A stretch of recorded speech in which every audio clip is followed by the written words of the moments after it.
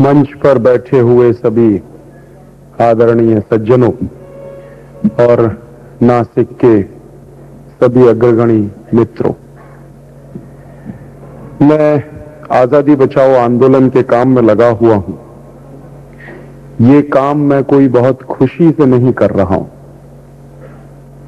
मेरे दिल में कुछ दर्द है इस देश की हालत को देखकर। ये उसका परिणाम है, आज़ादी बचाओ आंदोलन। और ये दर्द क्या है?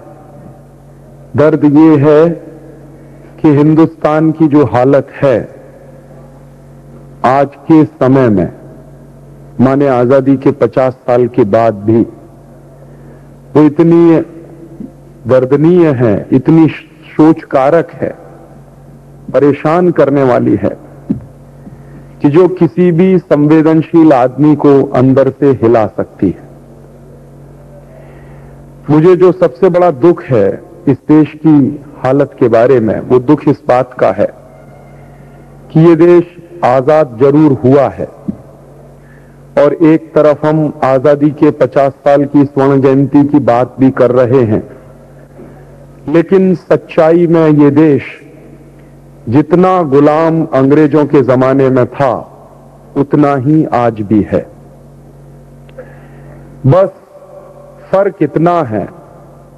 मैं उसको ऐसे कहता हूँ कि आज़ादी के पहले इस देश में गोरे अंग्रेज़ों का शासन चलता था और आज़ादी के बाद इस देश में काले अंग्रेज़ों का शासन चल रहा है। माने जो लोग इस देश पर शासन कर रहे हैं, जो राज कर रहे हैं, वो शरीर से दिखने में हिंदुस्तानी है, लेकिन आत्मा उन सबकी अंग्रेजियत वाली है। और मुझे दुख एक दूसरी बात का और है कि हिंदुस्तान की आज़ादी के लिए अपनी जान कुर्बान करने वाले लाखों करोड़ों क्रांतिकारियों ने जो सपना देखा था, इस देश की आज़ादी का, वो सपना कहीं से भी पूरा होता हुआ नहीं दिखाई देता। इस देश की आज़ादी के लिए जो क्रांतिकारी लड़ रहे थे, जो आंदोलन में लगे हुए थे, उन क्रांतिकारियों के मन के सपने क्या थे? तो सभी लोग ऐसा मानते थे कि जब आज़ादी मिल जाएगी तो इस देश में राम राज्य आ जाएगा। अंग्रेज़ों की त्रासवादी सरकार से मुक्ति मिल जाएगी। और जब राम राज्य की कल्पना होती थी उन क्रांतिकारियों के मन में, दिलों में तो वो क्रांतिकारी अक्सर दो तीन बातें कहा करते थे। एक बात तो ये कही जाती थी कि जब हिंदुस्तान आज़ाद हो जाएगा तो इस देश में कोई भी गरीब नहीं होगा। दूसरी बात यह कही जाती थी कि जब हिंदुस्तान आज़ाद हो जाएगा तो इस देश में कोई बेरोजगार नहीं होगा। तो यहाँ से गरीबी खत्म हो जाएगी, बेरोजगारी खत्म हो जाएगी।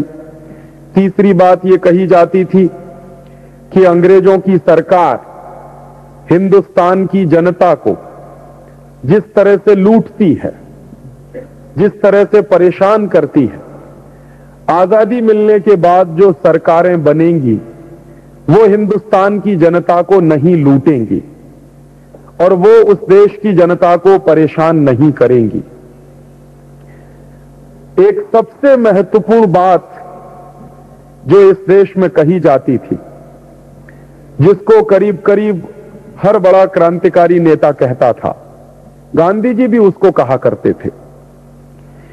एक बार गांधी जी से पूछा गया था कि आज़ादी के बाद के हिंदुस्तान के बारे में आपका सपना क्या है? एक विदेशी पत्रकार था। उसने पूछा था बापू से कि जब आज़ादी मिल जाएगी, भारत को तो कैसा हिंदुस्तान का कल्पना, कैसी हिंदुस्तान की कल्पना आपके मन में है? तो गांधी जी ने एक ही लाइन में जवाब दिया था उसका कि आज़ादी के बाद के भारत में अगर अंग्रेज़ चाहेंगे तो रह सकते हैं। मुझे अंग्रेज़ों से कोई नफरत नहीं है। अंग्रेज़ चाहेंगे तो हिंदुस्तान के मेहमान बनकर रह सकते हैं। लेकिन अंग्रेजियत नहीं रहेगी। तो उस पत्रकार ने पूछा कि बापू, ये अंग्रेजियत से आपका मतलब क्या है? तो गांधी जी ने कहा कि अंग्रेजियत का माने है, हिंदुस्तान की वो सारी की सारी व्यवस्था जो अंग्रेज़ों द्वारा चलाई गई है।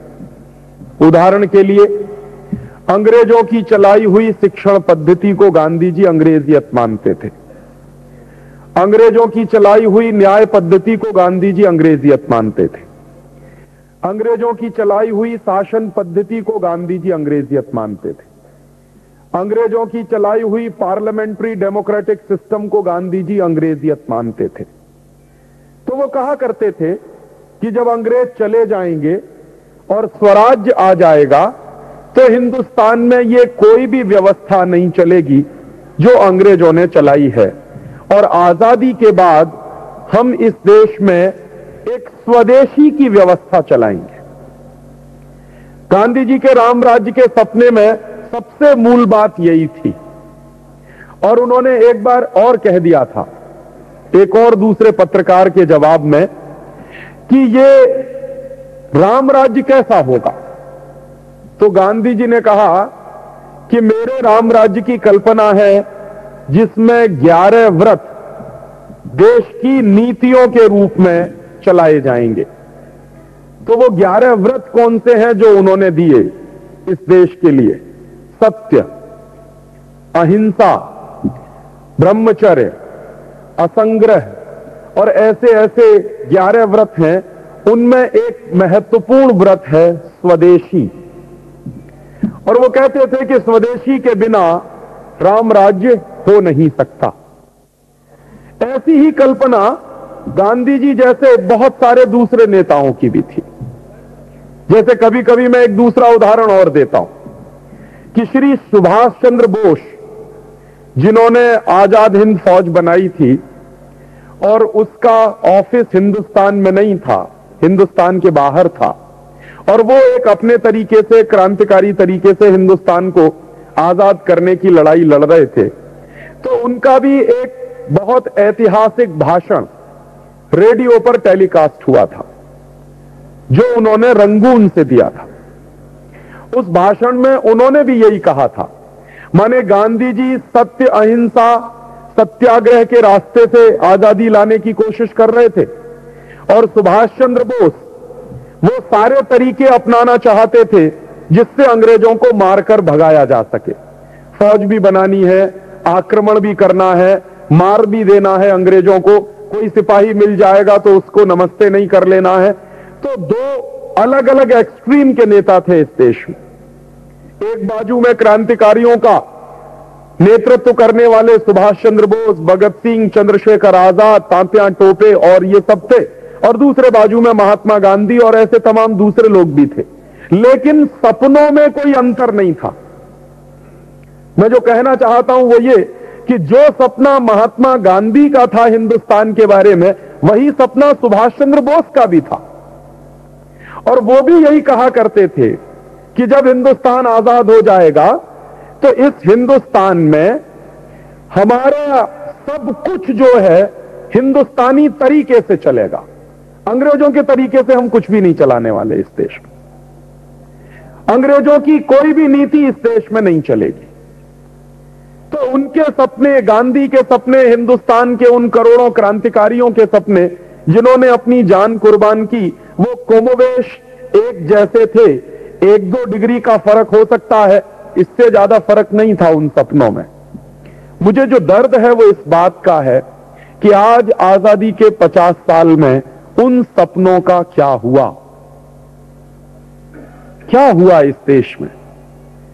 कौन सा ऐसा ग्रहण लग गया इस देश पर कि ऐसा अच्छा देश जिसके बारे में सारी दुनिया में कहा जाता था कि जगत गुरु है, वो देश आज गड्ढे में गिरने की तैयारी पर है? क्या हो गया है ऐसा? कौन सी प्रॉब्लम है? मैं कभी कभी बुज़ुर्गों से बात करता हूँ। सीखने के लिए। मेरे घर में मेरी एक दादी माँ है, जो आज़ादी की लड़ाई में शामिल थी।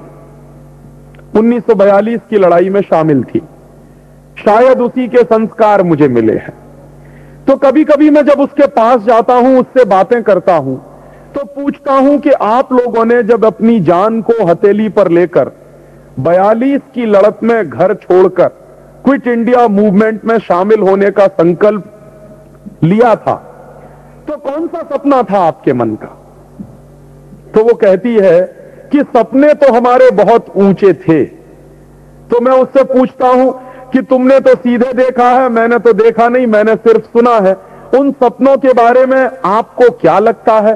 तो वो कहती है कि अब मुझे शर्म आती है कि हमने ऐसे देश के लिए आज़ादी की लड़ाई लड़ी है। इससे ज़्यादा अफसोस का कोई दूसरा वक्तव्य हो नहीं सकता। एक ऐसे व्यक्ति का, एक ऐसी महिला का, जो खुद शामिल थी बयालीस की लड़ाई में। ऐसे और भी बुज़ुर्गों से मैं मिलता हूँ। सब लोग एक ही बात कहते हैं कभी कभी तो एक्सट्रीम का जवाब मुझे मिलता। मैं तो पूरे देश में घूमता हूँ, लोगों की प्रतिक्रियाएँ भी पूछता हूँ। तो अक्सर बुज़ुर्ग लोगों की प्रतिक्रियाएँ जो मुझे मिलती हैं तो यहाँ तक मिलती हैं कि राजीव अंग्रेज़ों का राज्य आज से ज़्यादा अच्छा था। ये भी लोग कह देते हैं मुझको कई बार। तो मैं उनसे पूछ लेता हूँ कि क्या आपके मन की गुलामी अभी तक गई नहीं है? जो आप कहते हैं कि अंग्रेज़ों का राज्य आज से ज़्यादा अच्छा था तो वो कहते हैं कि ये मन की गुलामी नहीं है। ये हम अपने दर्द से कह रहे हैं, खुशी से नहीं कह रहे हैं कि अंग्रेज़ों का राज्य आज के राज्य से ज़्यादा अच्छा था। और अक्सर मैं पूछता हूँ कि उदाहरण के लिए बताइए, कौन सी ऐसी चीज़ थी? तो कहते हैं, कम से कम सुरक्षा तो थी। कम से कम हमारे मन के संकल्प तो थे। कम से कम इतने मानसिक रूप से तो गुलाम नहीं हुए थे जो आज हैं। तो ऐसे जवाब अक्सर सारे देश में सुनने को मुझे मिलते हैं। तो दुख और बढ़ जाता है कि क्या सपने देखे थे इस देश के लिए? कभी कभी मेरे मन में ऐसे कल्पनाएँ अजीबो गरीब आती रहती हैं। मैं कभी कभी सोचता हूँ, मान लीजिए, वो सारे के सारे क्रांतिकारी जो कुर्बान हो गए इस देश की आज़ादी के लिए, स्वर्ग से कभी कल्पना करिए वापस आ जाएँ इस ज़मीन पर। और देखें इस देश को, कि देखें हमारे हिंदुस्तान को, जिसको हम आज़ाद करवा के लाए थे और सौंप कर आए थे, उस देश का क्या हाल है? अगर मान लीजिए वो बाई दवे आ जाए ऐसी कोई व्यवस्था हो, प्रभु की कृपा हो जाए तो मैं आपसे बहुत दर्द से कह रहा हूँ कि वो आज के हिंदुस्तान को देखकर शायद आत्महत्या करना पसंद करेंगे। ऐसा देश है जिसमें हम रह रहे हैं। ये कैसे हो गया है? हुआ है तो कहीं कोई गड़बड़ी हुई होगी, कहीं कोई चूक हुई होगी। कई बार क्या होता है कि जब खुशी बहुत ज़्यादा होती है ना तो अपनी गलतियाँ पता नहीं लगती। शायद ऐसा ही कुछ हुआ होगा 1947 में। क्योंकि खुशी इतनी ज़्यादा थी सरकार बनाने की और सत्ता हासिल करने की तो उसमें क्या क्या गलतियाँ हुई, वो किसी ने ध्यान भी नहीं दिया होगा। और आज ये लगता है कि अगर थोड़ा सा ध्यान दिया गया होता तो देश की ये दुर्दशा नहीं होती जो आज हम देख रहे हैं। हमारी आँखों के सामने। क्या दुर्दशा है इस देश की? मेरे मन में जो दर्द है, उसमें एक सबसे बड़ा दर्द यह है कि इस देश से अंग्रेज़ चले गए 1947 में। लेकिन अंग्रेजियत नहीं गई इस देश से। और अंग्रेज़ों के जाने के बाद इस देश में अंग्रेजियत और गहरी होती चली गई है। माने जितनी अंग्रेजियत इस देश में आज़ादी के पहले नहीं थी उससे कई गुना ज़्यादा अंग्रेजियत इस समय देश में हर तरफ़ दिखाई देती है। जीवन के हर क्षेत्र में। वो चाहे राजनीति हो, वो चाहे अर्थव्यवस्था हो, वो चाहे समाज की व्यवस्थाएँ हो, वो चाहे हमारी सांस्कृतिक परंपराएँ हो, हर जगह वो अंग्रेजियत के दर्शन मुझे होते हैं। जिस अंग्रेजियत को भगाने के लिए करोड़ों करोड़ों लोगों ने कुर्बानियाँ कर दी अपने जीवन की, वो अंग्रेजियत क्या है? उसको समझना चाहिए। और गलती क्या हुई है? गलती हुई है, गांधी जी ने जो देखा था उसके ठीक उल्टा हुआ है। गांधी ने तो देखा था कि अंग्रेज़ चाहे तो रहें अंग्रेजियत चली जाए, लेकिन हुआ उसका उल्टा। अंग्रेज़ों को भेज दिया गया और अंग्रेजियत को इस देश में बाकायदा रखा गया। और ना सिर्फ़ रखा गया, इस पर ताली बजाने की बात नहीं है। यह दुख की बात है जो मैं कह रहा हूँ। और आप लोग इतना तो समझिए कि कब ताली बजानी चाहिए, कब नहीं बजानी चाहिए। तो दुख जो है वो ये है कि अंग्रेज़ तो चले गए हैं, लेकिन अंग्रेजियत तो गहरी होती चली जा रही है लगातार इस देश में। और इसलिए मैं कहता हूँ कि क्या कोई आज़ादी आ गई है इस देश में? जिस अंग्रेजियत से आज़ाद होने की हमारी कल्पना थी, हमारे संकल्प थे, उस अंग्रेजियत से कहीं हम आज़ाद दिखाई देते हैं? उदाहरण के लिए। अंग्रेज़ों के जमाने में इस देश में मानसिक गुलामी मानी जाती थी कि ज़्यादा थी।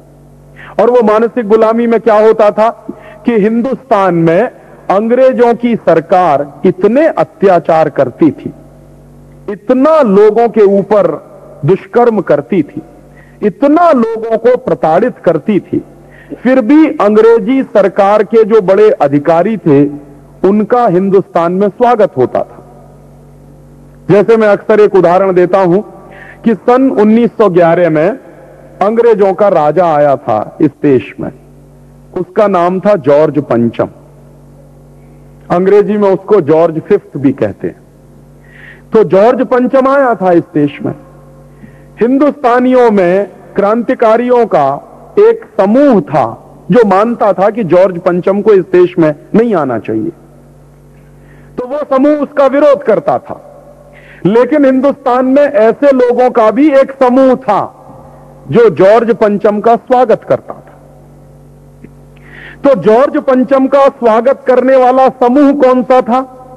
जॉर्ज पंचम का स्वागत करने वाला समूह था, जिनको अंग्रेज़ों की सरकार से कोई ना कोई मुनाफा मिलता था। जिनको अंग्रेज़ों की सरकार से कोई ना कोई सुविधा मिलती थी। जो अंग्रेज़ों की सरकार के पोषित किए गए तंत्र से अपने आप को जोड़कर रखते थे। तो ऐसा एक वर्ग था इस देश में। या हम उसको बहुत ब्लंट भाषा में कहें तो अंग्रेज़ों का चाटुकार वर्ग था इस देश में। साइकोफेंट थे कुछ अंग्रेज़ों के। तो जो अंग्रेज़ों का चाटुकार वर्ग था, वो अंग्रेज़ों के स्वागत में लगा रहता था, अंग्रेज़ों के गुणगान में लगा रहता था। ये अक्सर होता था। तो 1911 के साल में जब जॉर्ज पंचम आया इस देश में तो जो लोग अंग्रेज़ों के साइकोफेंट माने जाते थे, चाटुकार माने जाते थे, उन लोगों ने जॉर्ज पंचम का खूब ज़बरदस्त तरीके से स्वागत किया था। उस समय मैं आपको याद दिलाऊं, श्री स्वर्गीय लोकमान्य तिलक ने यह कहा था कि काश ये देश आज़ाद होता तो हमको ये दुर्दिन नहीं देखना पड़ता। दुर्दिन क्या था? कि जॉर्ज पंचम का स्वागत करने के लिए हिंदुस्तानी लोग ही खड़े हुए हैं। इसको तिलक जी दुर्दिन मानते थे। कि ये दुर्दिन तो ना देखना पड़ता। अगर हम आज़ाद होते तो। तो इतनी बड़ी बात जो उन्होंने कही, ये कोई छोटी बात नहीं थी कि काश हम आज़ाद होते तो ये दुर्दिन तो ना देखना पड़ता। जो हम देख रहे हैं कि अंग्रेज़ों का स्वागत किया जा रहा है और उसका स्वागत किया जा रहा है जो हमारे ऊपर अत्याचार करता। जो हमको मारता है, जो हमको पीटता है, जो हमको लूटता है, ऐसे राजा का स्वागत होना चाहिए या बहिष्कार होना चाहिए? तो उनके ग्रुप की तरफ़ से उन्होंने कोशिश की थी और बहिष्कार का कॉल दिया था कि जॉर्ज पंचम का हम बहिष्कार करेंगे। लेकिन चूँकि अंग्रेज़ों का शासन था, अंग्रेज़ों की व्यवस्था थी इस देश में तो अंग्रेज़ों का शासन और अंग्रेज़ों की व्यवस्था के कारण देश के लोग मजबूर थे कि सरकार अंग्रेज़ों की है तो अंग्रेज़ों की सरकार है तो वो जो फैसला करेगी, वो मानना पड़ेगा देश के लोगों को। तो अंग्रेज़ों की सरकार ने यह फैसला कर लिया था कि जॉर्ज पंचम का हिंदुस्तान में स्वागत होना चाहिए। तो मजबूरी थी देश के लोगों की, क्योंकि हम अंग्रेज़ों के गुलाम थे। तो वो मजबूरी मुझे समझ में आती है कि 1911 के साल में चूँकि हम अंग्रेज़ों के गुलाम थे, इसलिए जॉर्ज पंचम का हिंदुस्तान में आना एक बड़ी दुर्घटना थी और तिलक साहब के शब्दों में कि यह दुर्दिन न देखना पड़ता अगर हम आज़ाद होते। ये बात एक बाजू में थोड़ी देर को रख दें, फिर हम कल्पना करें कि अभी इस साल आज़ादी के पचासवें साल में, अक्टूबर के महीने में 12 तारीख को, जब ब्रिटेन की रानी एलिजाबेथ हिंदुस्तान में आई तो क्या सिर पीटे अपना हम? क्योंकि अभी तो यह बात समझ में नहीं आती। हम तो 1911 में गुलाम थे, हम तो मजबूर थे। तो चूँकि 1911 में हम गुलाम थे, मजबूर थे, इसलिए जॉर्ज पंचम का स्वागत करना हमारी मजबूरी थी।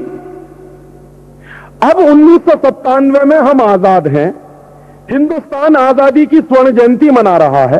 पचास साल हो गए हैं, गुलामी जा चुकी है यहाँ से, अंग्रेज़ जा चुके हैं। तो आज़ादी के पचास साल में रानी एलिजाबेथ का स्वागत करने की कौन सी मजबूरी है हमारी? कौन सी मजबूरी है? ये समझ में नहीं आता मुझको। और ये मजबूरी किसी एक दो संस्था की तरफ़ से दिखाई गई होती, किसी व्यक्तिगत स्तर पर किसी ने दिखाई होती तो समझ में आता है। लेकिन यह मजबूरी सरकार ने दिखाई हमारी। और उसको हम कहते हैं कि यह हिंदुस्तानी सरकार है। भारत की सरकार है। तो भारत की सरकार की वो कौन सी मजबूरी है कि आज़ाद पचास साल के बाद भी हमें ब्रिटेन की रानी का वैसे ही स्वागत करना पड़ता है, जैसे हम गुलामी के दिनों में किया करते थे। ये कौन सी मजबूरी है? और अगर कोई मजबूरी है तो उसे समझना चाहिए हमको। क्योंकि यह मजबूरी कोई भारत सरकार की नहीं है यह पूरे राष्ट्र की मजबूरी है। जब जॉर्ज पंचम आया था 1911 में तो उसका 21 तोपों से स्वागत किया गया था, क्योंकि हम गुलाम थे। अब आज़ादी के 50 साल में जब रानी एलिजाबेथ आई तो उसका भी 21 तोपों से स्वागत किया गया, क्योंकि हम आज़ाद हैं। यह तर्क कुछ समझ में आता?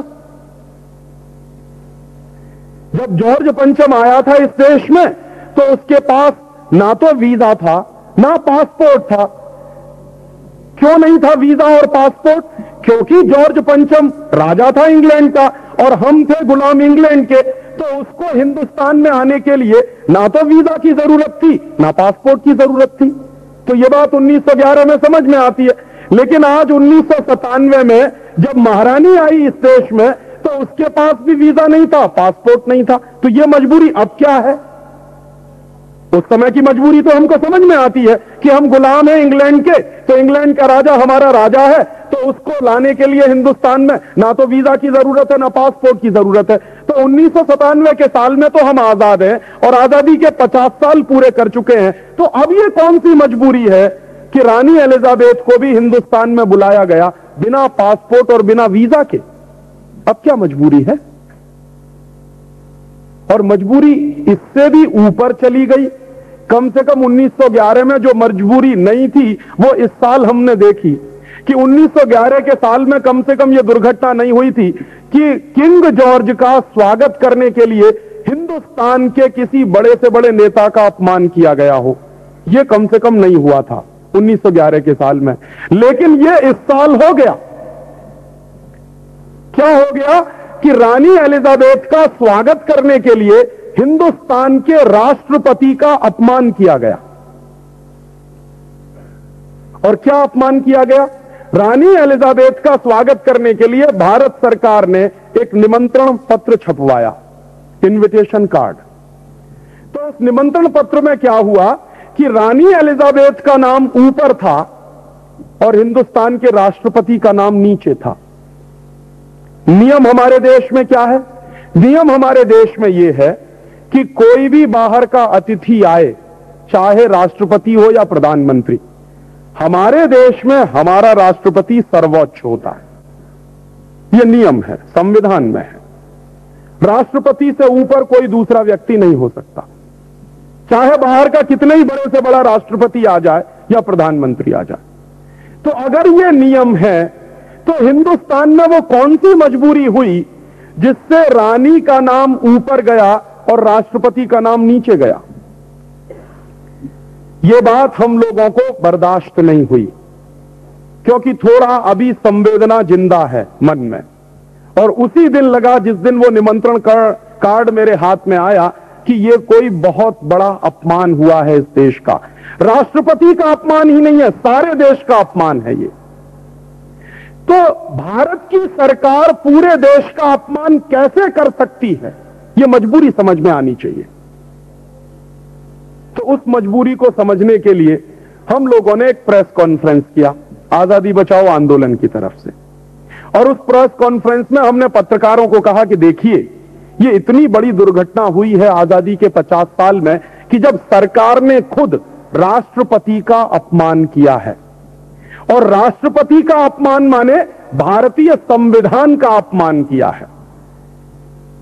क्योंकि राष्ट्रपति और संविधान दो अलग चीज़ें नहीं हैं इस देश में।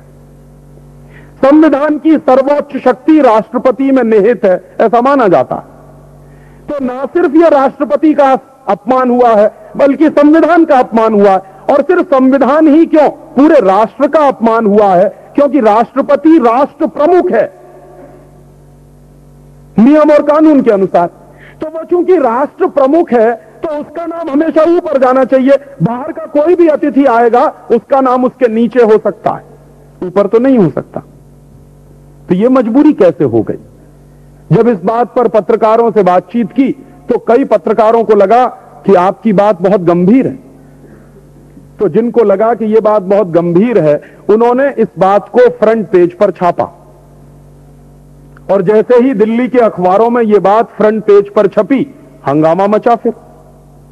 और हंगामा जब मचा तो एक पत्रकार ने मुझसे कहा था कि राजीव भाई, कहीं ऐसा तो नहीं है कि गलती से ऐसा हो गया हो? तो मैंने सहज रूप से कह दिया कि हो सकता है गलती।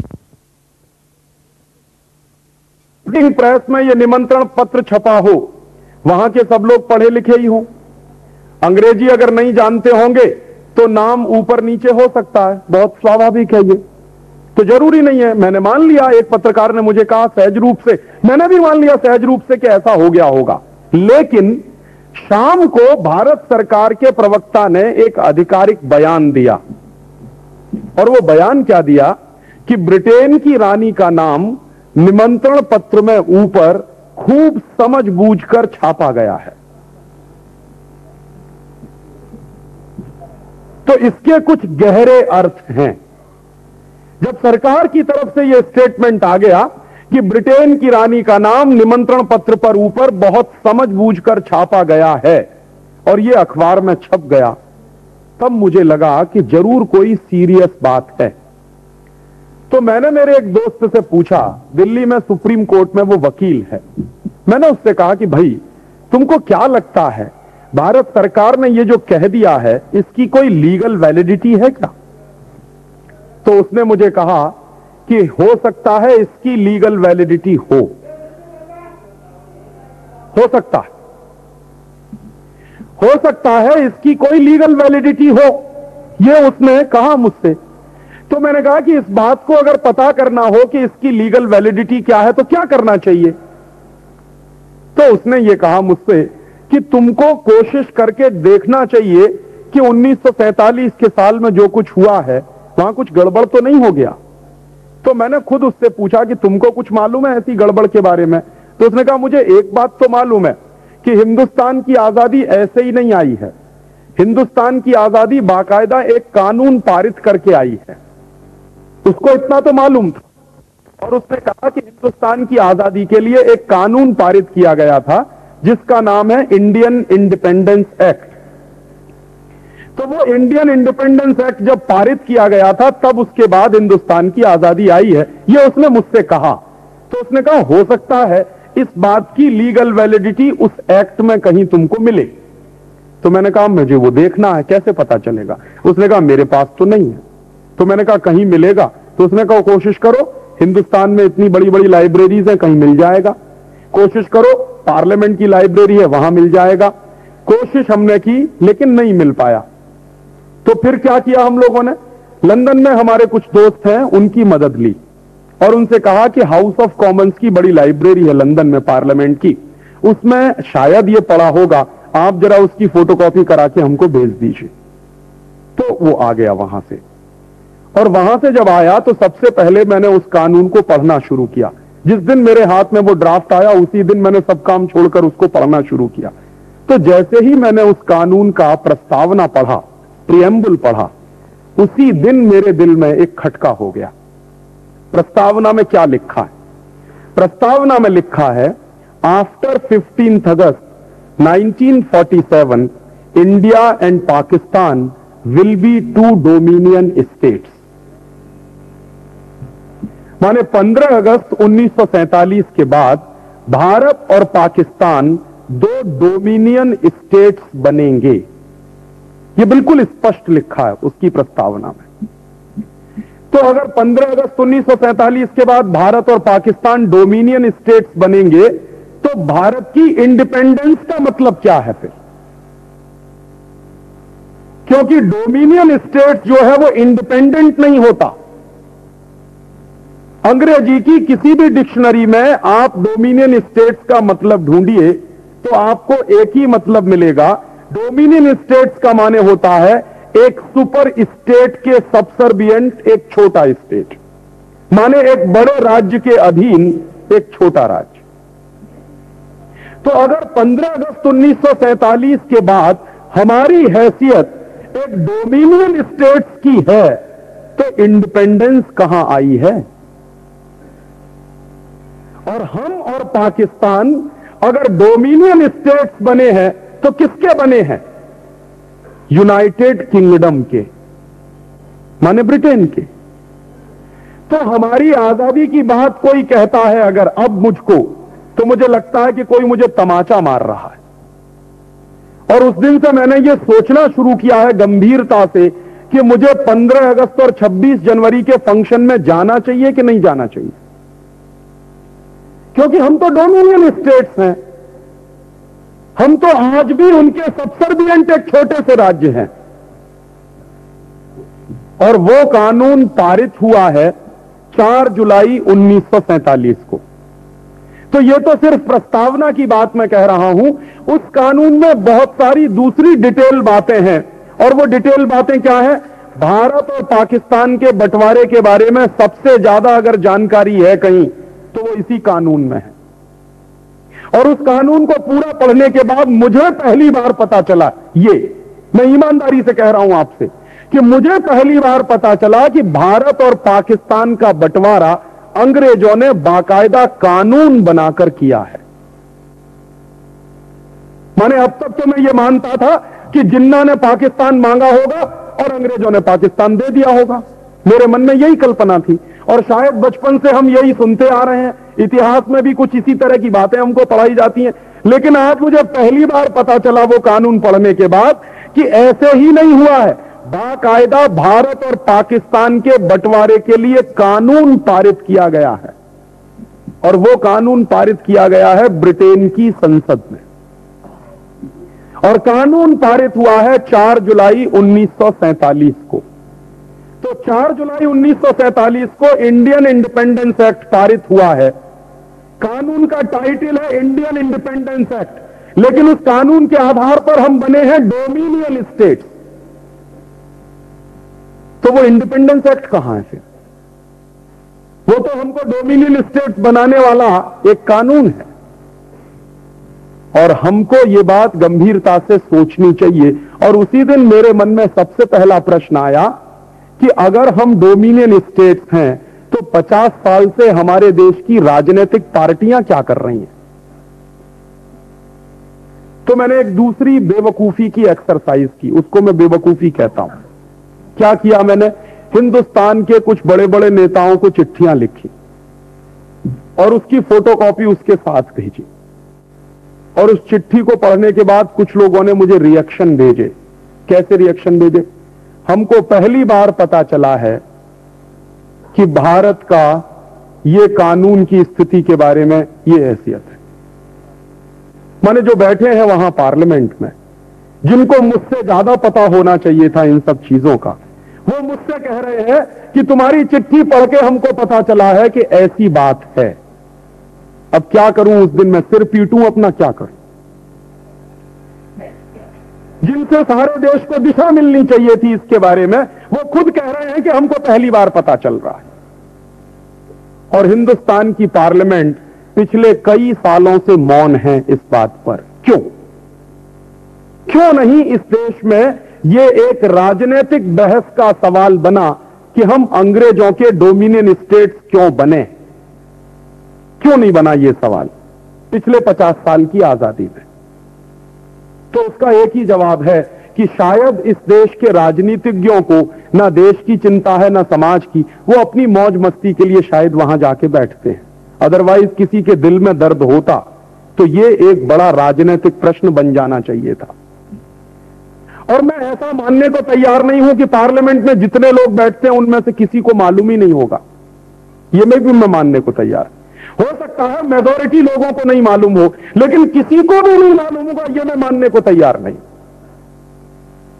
और अगर ऐसी स्थिति यह है कि किसी को भी नहीं मालूम, तब तो हमको गंभीरता से सोचना चाहिए कि कौन सा पार्लियामेंट्री सिस्टम हम चला रहे हैं।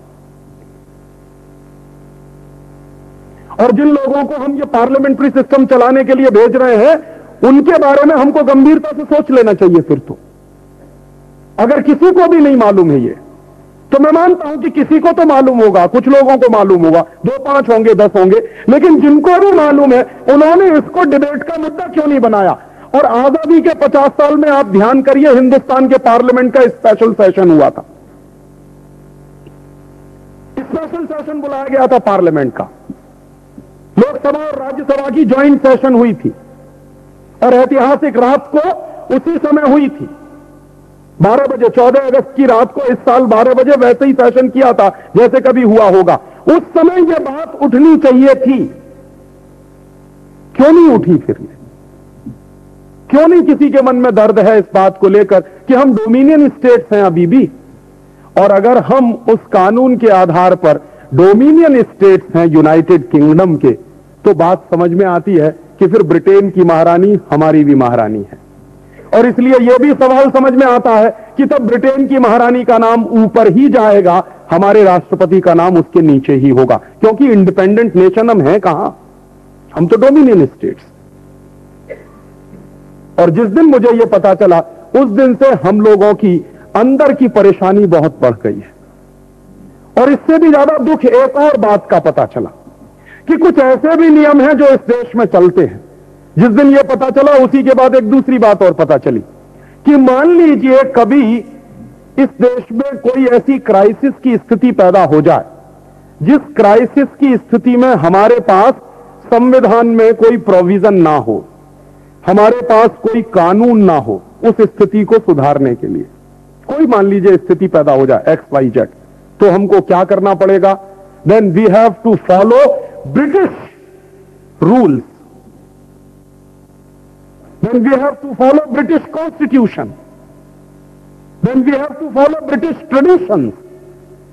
माने अगर हमारे देश में अपनी स्थिति को सुधारने के लिए कोई कानून नहीं है, कोई नियम नहीं है, संविधान में कोई व्यवस्था नहीं है तो हमको ब्रिटेन की परंपराओं का ही पालन करना पड़ेगा यह भी बात है हमारे यहाँ तो कैसे मान लें कि हम आज़ाद हो गए हैं और मैं मानता हूँ कि ज़रूर 50 साल की स्थिति में ऐसी परिस्थितियाँ आई होंगी जब हमारे देश में उनका सोल्यूशन ढूँढने के लिए कोई प्रोविज़न नहीं होगा कॉन्स्टिट्यूशन में या नियम नहीं होगा तो शायद ब्रिटेन की परंपराओं के आधार पर ही उनके फैसले किए गए होंगे। क्योंकि अब हमें मालूम पड़ा है तो हमने खोजना शुरू किया है। हो सकता है हमको ऐसे कुछ उदाहरण भी मिल जाएँ आने वाले समय में। इसलिए हम लोगों के दिल में दर्द है। कि एक बाजू में हम कहें कि आज़ादी के 50 साल और दूसरे बाजू में देखें कि देश की हालत क्या है। हम तो उनके आज भी डोमिनियन स्टेट्स हैं। और उसी के बाद फिर कुछ बातें और पता चली हमको। कुछ बातें और पता चली जिनमें एक सबसे सीरियस बात है कि हिंदुस्तान की जो आज़ादी आई है, वो आज़ादी नहीं आई है। बाकायदा ट्रांसफ़र ऑफ़ पावर के लिए एग्रीमेंट हुआ है। अब इस बात को समझिए। आज़ादी लेने के लिए कभी कोई समझौता नहीं होता। और मैं मानता नहीं कि आज़ादी कोई ऐसी चीज़ है जिसके लिए समझौता हो सकता। या तो हम पूरी तरह से गुलाम होंगे या पूरी तरह से आज़ाद होंगे। आज़ादी लेने देने के लिए समझौते नहीं होते। सत्ता के लिए हो सकते हैं समझौते। आज़ादी एक ऐसा शब्द है जिस पर कोई कंप्रोमाइज नहीं हो सकता। किसी भी स्थिति में कोई समझौता नहीं हो सकता उसके ऊपर। तो जब यह पता चला कि हमको तो आज़ादी देने के लिए बाकायदा समझौता हुआ है, तब तो दिल और बैठ गया हमारा। क्यों समझौता क्या है? देखना चाहिए, पता करना चाहिए। तो वो समझौता भी यहाँ नहीं है, वो लंदन में पड़ा हुआ है कहीं। और वो समझौता लंदन में पढ़ा हुआ है इस शर्त के साथ कि वो बावन साल के लिए टॉप सीक्रेट है 52 इयर्स के लिए। तो बावन साल कब पूरे होंगे? 99 में पूरे होंगे। तो 99 तक आप उसको ओपन नहीं कर सकते। तो मेरे मन में शक हुआ है उसी दिन से कि देश की आज़ादी के लिए कोई समझौता हो और उसको बावन साल के लिए सीक्रेट घोषित किया जाए तो उसमें कोई ज़रूर ऐसी बात है जो देश के लोगों से छुपाई गई है। अन्यथा उस समझौते को छुपाने की ज़रूरत क्या है? और मैं तो भारतीय दर्शन में विश्वास करने वाला आदमी हूँ। छुपाना उसी को पड़ता है जिसमें कोई गड़बड़ी होती है। सत्य को छुपाने की कभी कोई ज़रूरत नहीं होती। सत्य तो अपने आप खुलता है। झूठ को छुपाने के लिए आवरण डालने पड़ते हैं। झूठ को छुपाने के लिए कुछ ना कुछ करना पड़ता है। तो ज़रूर कोई ऐसा बड़ा झूठ है जो हमारे देश में घटित हुआ है और इस देश के लोगों से छुपाया गया है बावन साल के लिए। और उस दिशा में हम लोगों ने उस दिन से कोशिश शुरू की है कि पता तो करें कि वो झूठ क्या है। तो पूरी बात तो अभी पता नहीं चल रही है।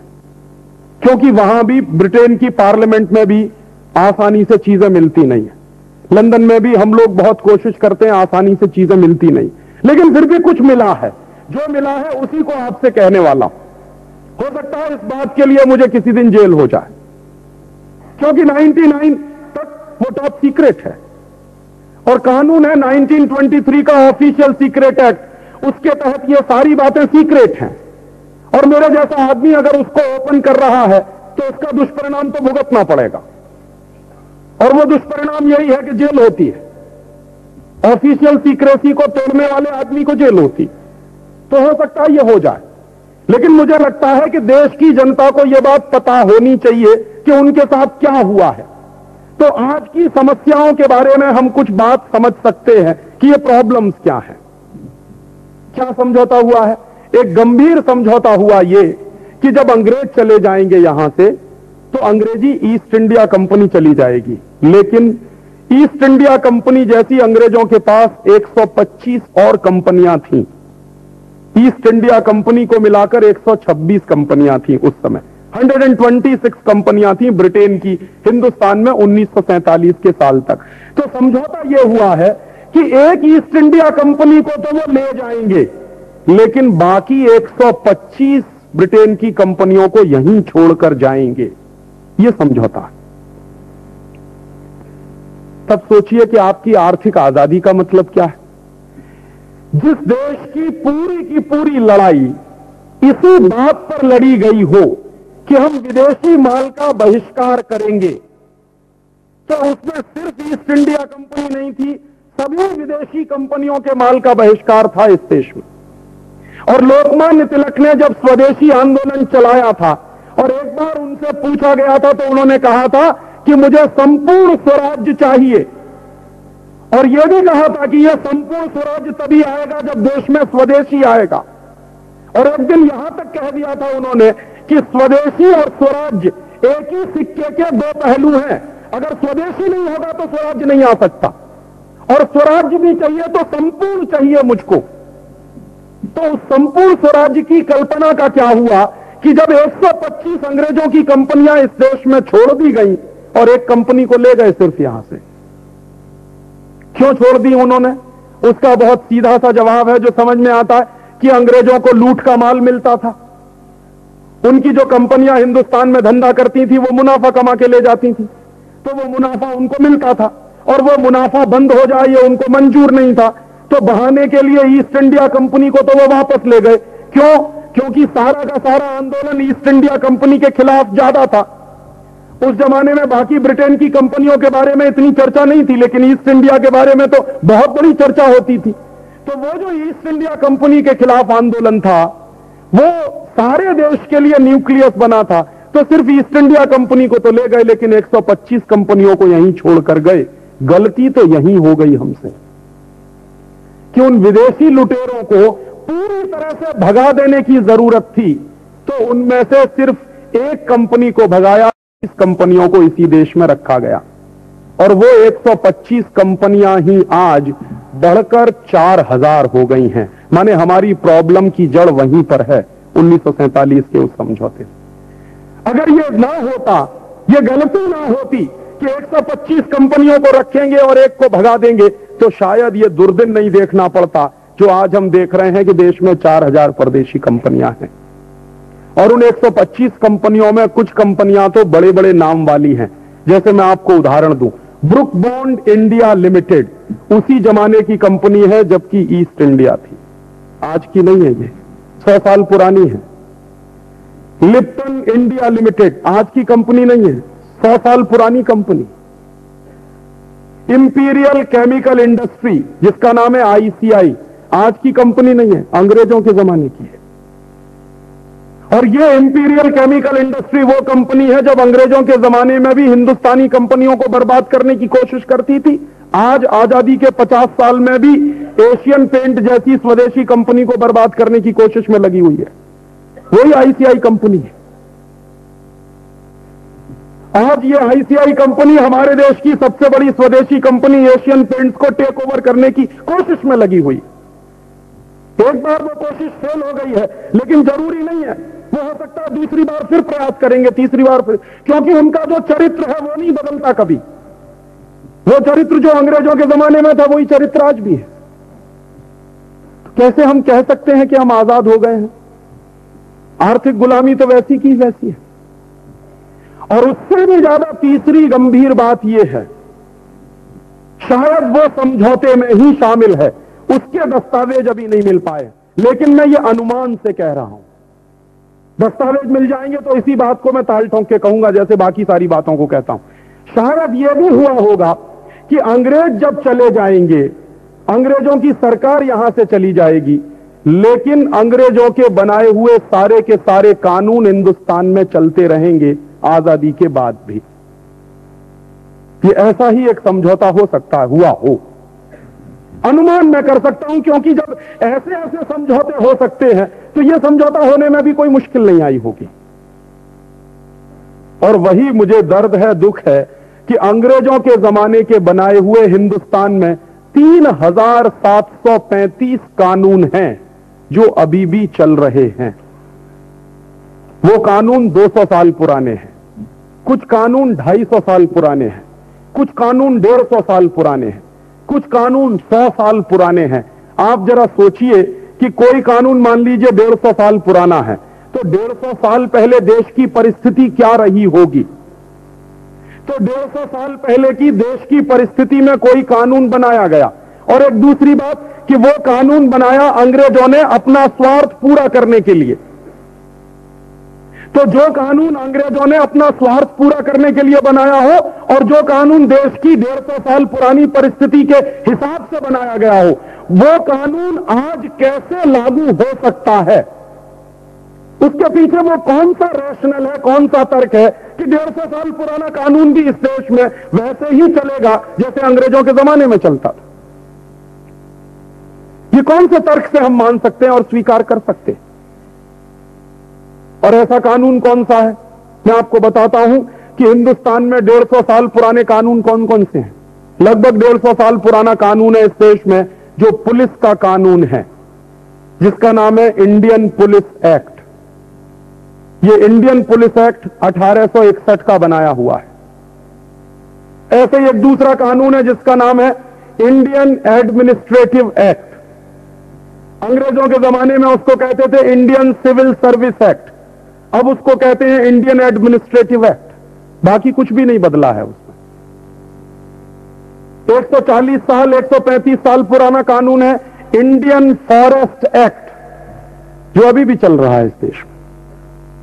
125, 130 साल पुराना कानून है इंडियन टेलीकम्युनिकेशन एक्ट जिसके आधार पर पोस्ट एंड टेलीग्राफ डिपार्टमेंट काम करता। अठारह का बनाया हुआ कानून है। आज से लगभग 100 साल पुराना कानून है लैंड एक्विजिशन एक्ट अठारह सौ चौरानवे का बनाया हुआ है। तो आज भी चल रहा है इस देश में आज़ादी के 50 साल के बाद। तो ऐसे ऐसे वो सारे कानून चल रहे हैं इस देश में, जो अंग्रेज़ों ने बनाए थे इस देश में। और अंग्रेज़ों ने क्यों बनाए थे? उसके पीछे अंग्रेज़ों का स्वार्थ था। क्या स्वार्थ था? अंग्रेज़ों ने इस देश में इनकम टैक्स एक्ट बनाया। अंग्रेज़ों ने इस देश में सेंट्रल एक्साइज एक्ट बनाया। उसके साथ उन्होंने सॉल्ट भी जोड़ दिया था। Central excise and salt tax act पूरा नाम होता था। वो अभी तक चल रहा है। दो साल पहले उसमें से सॉल्ट नाम हटाया गया, बस। बाकी सबका सब है। मैंने सॉल्ट भी हटाने में हमको पचास साल लग गए, उस कानून में से। तो ये जो टैक्सेशन के टोल टैक्स अभी थोड़ी देर पहले मैं त्रंबकेश्वर से आया। तो वहाँ शहर में घुसने ही के लिए वो कहने लगा, दस रुपया दो। काय का दस रुपया? कि टोल टैक्स लगता। तो मेरा पहला रिएक्शन यही था कि अंग्रेज़ तो मर गए और चले गए, यहाँ से टोल टैक्स छोड़कर गए हमारी छाती पर, जो अभी भी चल रहा है इस देश में। ऐसा ये कानून है। ये भी अंग्रेज़ छोड़कर गए थे इस देश में, वो भी ऐसे ही चल रहा है इस देश में। और ऐसा ये कानून है, सेल्स टैक्स, जो अंग्रेज़ों ने अपने जीवन में, माने हिंदुस्तान छोड़ने के अंतिम समय में बनाया था और लागू करवाया था। तो टैक्सेशन के ये जितने कानून इस समय चल रहे हैं देश में, ये सब अंग्रेज़ों के हिसाब से बनाए गए हैं। अंग्रेज़ों के स्वार्थ को पूरा करने के लिए बनाए गए हैं। अंग्रेज़ों का सबसे बड़ा स्वार्थ क्या था? अंग्रेज़ों का सबसे बड़ा स्वार्थ ये था कि हिंदुस्तानी जो उद्योगपति हैं, हिंदुस्तानी जो व्यापारी हैं, उनको बर्बाद करना है। क्यों? ताकि ईस्ट इंडिया कंपनी और अंग्रेज़ों की कंपनियों का धंधा यहाँ चले, व्यापार चले। ईस्ट इंडिया कंपनी और अंग्रेज़ों की कंपनियों में इतनी दम नहीं थी कि वो हिंदुस्तानी कंपनियों के साथ कंपटीशन में टिक सकें। दस्तावेज़ इस बात के हैं कि अंग्रेज़ों के लंकाशायर और मानचेस्टर में जो कपड़ा बनता था, वो सूरत के बनाए गए कपड़े से बहुत घटिया होता था। वो बिक नहीं पाता था इस देश में। अंग्रेज़ों के देश में, उस जमाने में जो स्टील बना करती थी, वो हिंदुस्तान में बनने वाली स्टील से सौ गुनी घटिया होती थी। और मेरे पास इस बात के सबूत है कि ईस्ट इंडिया कंपनी अपने जितने जहाज़ बनाती थी पानी के, वो सब स्टील हिंदुस्तान से जाता था। उस जमाने में यह माना जाता था कि पूरी दुनिया में दो ही देश थे, जिनके पास क्वालिटी का स्टील होता था। या तो था डेनमार्क और या था हिंदुस्तान। और 1835 के साल में आप कल्पना कर सकते हैं कि 1835 के साल तक हिंदुस्तान में स्टील बनाने के दस हज़ार कारखाने थे। एक दो नहीं। और उन दस हज़ार कारखानों में जो स्टील बनता था, उस स्टील की क्वालिटी का आप अंदाज़ा करना चाहें तो कभी चले जाइए मेहरौली नाम के गाँव में एक खंबा लगा हुआ स्टील का बनाया हुआ है। उस पर आज तक जंग नहीं लगी है, दिल्ली के पास। सैकड़ों साल से ऐसे ही खड़ा हुआ है, जंग नहीं लगी है। क्या था? क्वालिटी का काम करते थे हम। कोई ऐसे ही छोटे मोटे लोग नहीं थे।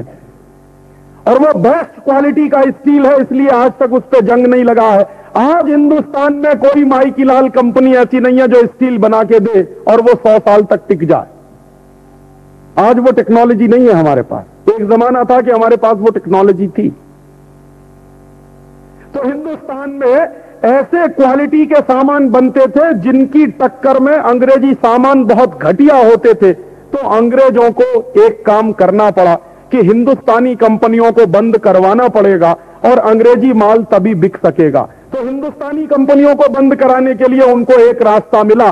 क्योंकि सरकार उनकी थी इस देश में तो उन्होंने क्या किया? हिंदुस्तानी कंपनियों पर टैक्स बढ़ाते चले जाओ, बढ़ाते चले जाओ, बढ़ाते चले जाओ और अंग्रेज़ों का माल टैक्स फ्री कर दो। तो अंग्रेज़ों का माल टैक्स फ्री होता था और हिंदुस्तानी कंपनियों पर टैक्स लगाया जाता था। एक दो नहीं पाँच पाँच तरह के टैक्स लगाए जाते थे। और टैक्स लगा लगा के हिंदुस्तानी माल को महँगा बनाया जाता था, अंग्रेज़ों का माल सस्ता बनाया जाता था। उसके नतीजे क्या निकले? अंग्रेज़ हमसे कंपटीशन में कभी टिक नहीं पाए। लेकिन चूँकि बेईमानी से उनकी सरकार चलती थी तो उन्होंने हिंदुस्तान के व्यापारियों को बर्बाद कर दिया, टैक्स के कानून चलाकर और इस देश में लागू करवा के। 1835 के साल तक हिंदुस्तान दुनिया का सबसे बड़ा एक्सपोर्टर कंट्री था, जब तक ये टैक्स के कानून नहीं लगे थे इस देश में। जब तक अंग्रेज़ों का टैक्सेशन इस देश में नहीं आया था, तब तक हिंदुस्तान दुनिया का सबसे बड़ा एक्सपोर्टर कंट्री था। और कितना एक्सपोर्ट हम करते थे? दुनिया के पूरे बाज़ार में जितना एक्सपोर्ट होता था, उसका 33 प्रतिशत थर्टी परसेंट हिंदुस्तान का एक्सपोर्ट होता था। तो अगर दुनिया में जितना एक्सपोर्ट हो रहा है, उसका 33 प्रतिशत हम एक्सपोर्ट कर रहे हैं तो ये हिंदुस्तान कोई बहुत बड़ा इंडस्ट्रियल कंट्री रहा होगा, ये तभी संभव है। लेकिन दुर्भाग्य से हमको ये पढ़ाया गया कि हिंदुस्तान तो एग्रीकल्चरल कंट्री रहा। हम एग्रीकल्चरल कंट्री के साथ साथ बहुत बड़े इंडस्ट्रियल कंट्री थे। ये बात माइनस की गई है। नहीं तो हम इतना एक्सपोर्ट कैसे कर पाते थे? अगर इंडस्ट्रियल बेस नहीं था इस देश में तो। वो इंडस्ट्रियल बेस को अंग्रेज़ों ने बर्बाद कर दिया टैक्स के कानून लगा के। और नतीजा जानते हैं क्या निकला? हिंदुस्तान की पूरी इंडस्ट्री धीरे धीरे धीरे धीरे बंद होती चली गई, क्योंकि अंग्रेज़ों का माल सस्ता होता चला गया, हिंदुस्तानी लोगों का माल महँगा होता चला गया, और एक जमाने में जो देश सबसे बड़ा इंडस्ट्रियल कंट्री था 33 प्रतिशत निर्यात करता था, आज उन्नीस सौ सत्तानवे में उस देश का कुल निर्यात मालूम है कितना? दशमलव ज़ीरो एक प्रतिशत। तो वो टैक्सेशन के सिस्टम ने हमारा क्या नुकसान किया है?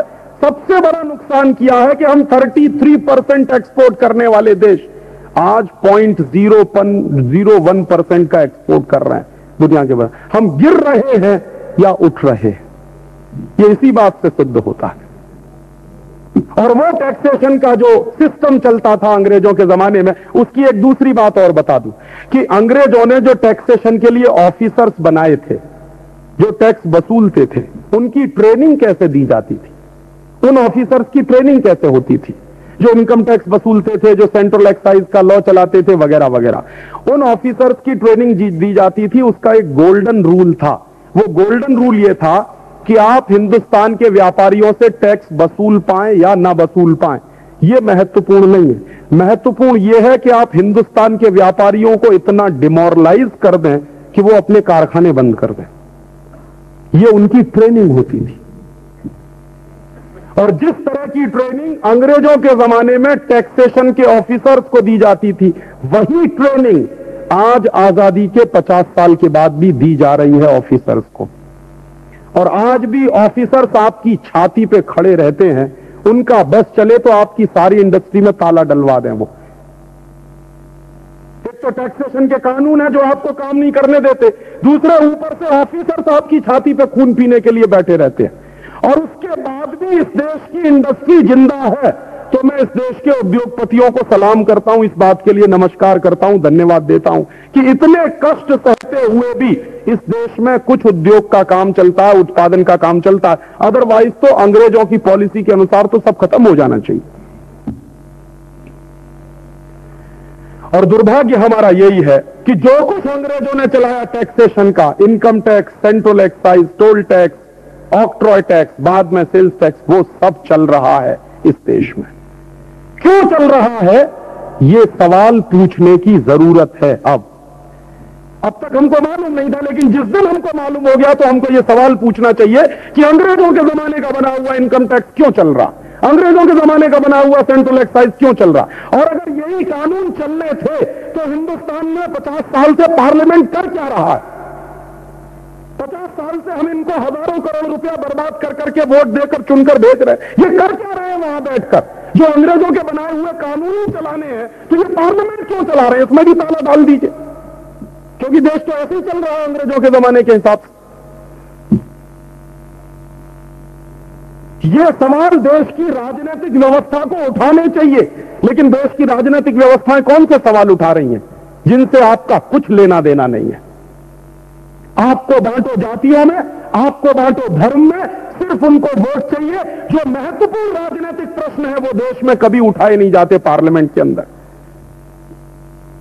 बेवकूफ़ी की बहसें होती हैं पार्लियामेंट के अंदर। और अगर आप पार्लियामेंट की बहस सुने तो सिर पीट लेंगे किसी दिन अपना। वहाँ बहस होती है कि मेरे गाँव में बिजली का खंभा नहीं गड़ा है।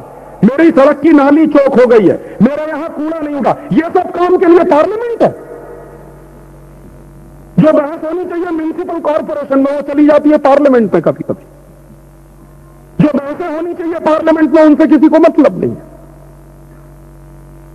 और ये टैक्सेशन का सिस्टम वैसे ही बर्बाद कर रहा है हमको जैसे अंग्रेज़ों के जमाने में करते थे। और मुझे तो उससे भी बड़ा दुख है एक दिन मुझको पता चला कि अंग्रेज़ों ने इस देश में 97 परसेंट इनकम टैक्स लगाया था, सबसे पहले। मैंने सौ रुपए पे तीन रुपया बचेगा, सतानवे दे दीजिए टैक्स के रूप। तो 97 परसेंट टैक्स क्यों लगाया उन्होंने? तो उनकी दो मान्यताएँ थी। वो एक बात तो ये कहते थे कि अगर हिंदुस्तानी व्यापारी ईमानदारी से टैक्स देना शुरू कर देंगे तो बर्बाद हो जाएँगे, क्योंकि 97 परसेंट टैक्स देने के बाद बचेगा क्या आपके पास? और दूसरी मान्यता उनकी यह थी कि अगर वो ईमानदारी से टैक्स नहीं देंगे तो टैक्स की चोरी करेंगे। माने अंग्रेज़ चाहते थे कि आप टैक्स की चोरी करें। क्यों? क्योंकि आप बेईमान हो जाएँगे। और दूसरी मान्यता उनकी यह थी कि अगर वो ईमानदारी से टैक्स नहीं देंगे तो टैक्स की चोरी करेंगे। माने अंग्रेज़ चाहते थे कि आप टैक्स की चोरी करें। क्यों? क्योंकि आप बेईमान हो जाएँगे। और बेईमान आदमी को गुलाम बनाना बहुत आसान होता। है यह उनकी पॉलिसी थी। इसलिए उन्होंने 97 परसेंट इनकम टैक्स लगाया इस देश में। वो 97 परसेंट इनकम टैक्स इस देश में आज़ादी आई उन्नीस सौ सैंतालीस में, उसके बाद भी सन 1982 तक चलता रहा। 97 परसेंट इनकम टैक्स। 1982 तक 97 परसेंट इनकम टैक्स वसूला जाता था देश के लोगों से। क्यों वसूला जाता था? क्योंकि अंग्रेज़ कह गए थे तो अंग्रेज़ कह गए थे, अगर ऐसे ही हिंदुस्तान चलाना तो आज़ादी का मतलब क्या है फिर? और इसलिए मैं कहता हूँ, और अंग्रेज़ों ने यह सिस्टम क्यों बना मैंने इससे पहले थोड़ी एक बात उसको गंभीरता वो कह रहे हैं, या तो हिंदुस्तानी व्यापारी बर्बाद हो जाएँगे, या बेईमान हो जाएँगे। माने आपको करप्ट बनाना है उन्हें, ताकि आप उनके गुलाम बने। करप्शन जितना बढ़ेगा समाज में, उतने आप गुलामी में फंसते जाएँगे। तो आज ये सब जो कुछ चल रहा है वो जान लीजिए कि आपको जानबूझकर या तो करप्ट बनाने के लिए है, या बर्बाद करने के लिए। तो ये सरकारें भी वैसे ही चल रही हैं, जैसे अंग्रेज़ों की सरकारें चला करती थी। ऐसे ही टैक्स वसूल रही हैं, जैसे अंग्रेज़ों की सरकारें आपसे वसूला करती थी। अंग्रेज़ों की सरकार को जब मन में आता था, लोगों के ऊपर टैक्स बढ़ा देते थे। आज की सरकार को जब मन में आता है, पाँच परसेंट सर्विस टैक्स बढ़ा दो। आज ये कर दो, कल वो कर दो। और जैसे अंग्रेज़ों की सरकार क्या करती थी? टैक्स वसूलती थी लोगों से। उस टैक्स का होता क्या था?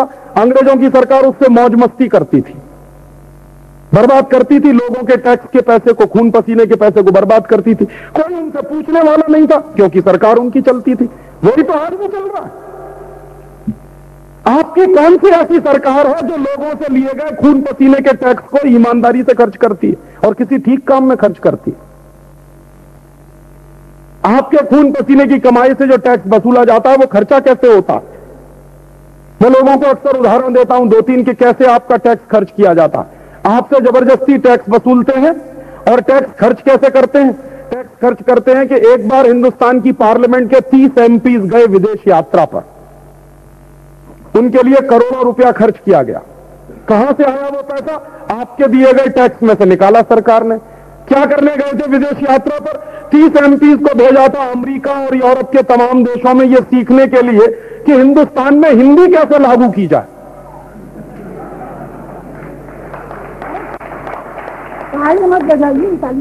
ताली बजाने की बात मैंने हिंदुस्तान में हिंदी कैसे लागू की जाए ये सीखने के लिए एमपीज गए थे अमेरिका और गए थे यूरोप। करोड़ों रुपया बर्बाद करके आए इस देश के लोगों के खून पसीने की कमाई का। क्या सीख कर आए होंगे? ये आप भी जानते हैं, मैं भी जानता हूँ। क्योंकि अमेरिका में हिंदी चलती नहीं, यूरोप में हिंदी चलती नहीं। तो क्या सीखेंगे वहाँ जाकर? एक काम ज़रूर किया होगा कि अपनी बीवी बच्चों के लिए कुछ खरीदारी करके ले आए होंगे। जो मानसिक गुलामी बैठी हुई है कि इंपोर्टेड माल बहुत अच्छा होता है तो लाके घर भर दिया होगा। और इससे ज़्यादा क्या किया होगा इन्हें अभी कुछ दिन पहले मैं गोवा में था। बारह तेरह दिन में गोवा में रहा। गोवा में मेरी एक पब्लिक मीटिंग हुई थी। उस पब्लिक मीटिंग में दो तीन धारा सभ्य बैठे हुए थे। एमएलए बैठे हुए थे असेंबली के। मेरी मीटिंग में व्याख्यान खत्म होने के बाद एक एमएलए ने कहा राजीव भाई, आपसे एक बात कहना चाहता हूँ। मैंने कहा, कहो। कि नहीं नहीं, कोने में जाके कहूँगा अकेले में। तो मैंने कहा, चलो भाई, क्या ऐसी खास बात है जो कोने में जाके कहेंगे? तो कहने लगा, अभी कुछ दिन पहले हमारी सरकार ने हमको सिंगापुर भेजा था। तो मैंने कहा कौन कौन गए थे? कि पूरे एमएलए भेजे थे। अपोजिशन के, पार्टी के सबको भेज दिया सिंगापुर। क्या करने गए थे? गोवा में ट्रैफ़िक की प्रॉब्लम कैसे सॉल्व की जाए, उसको सीखने सिंगापुर गए थे।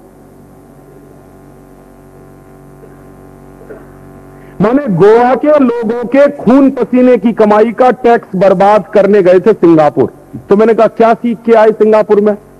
कि कुछ नहीं सीखा। मैंने कहा, कुछ तो सीखा होगा।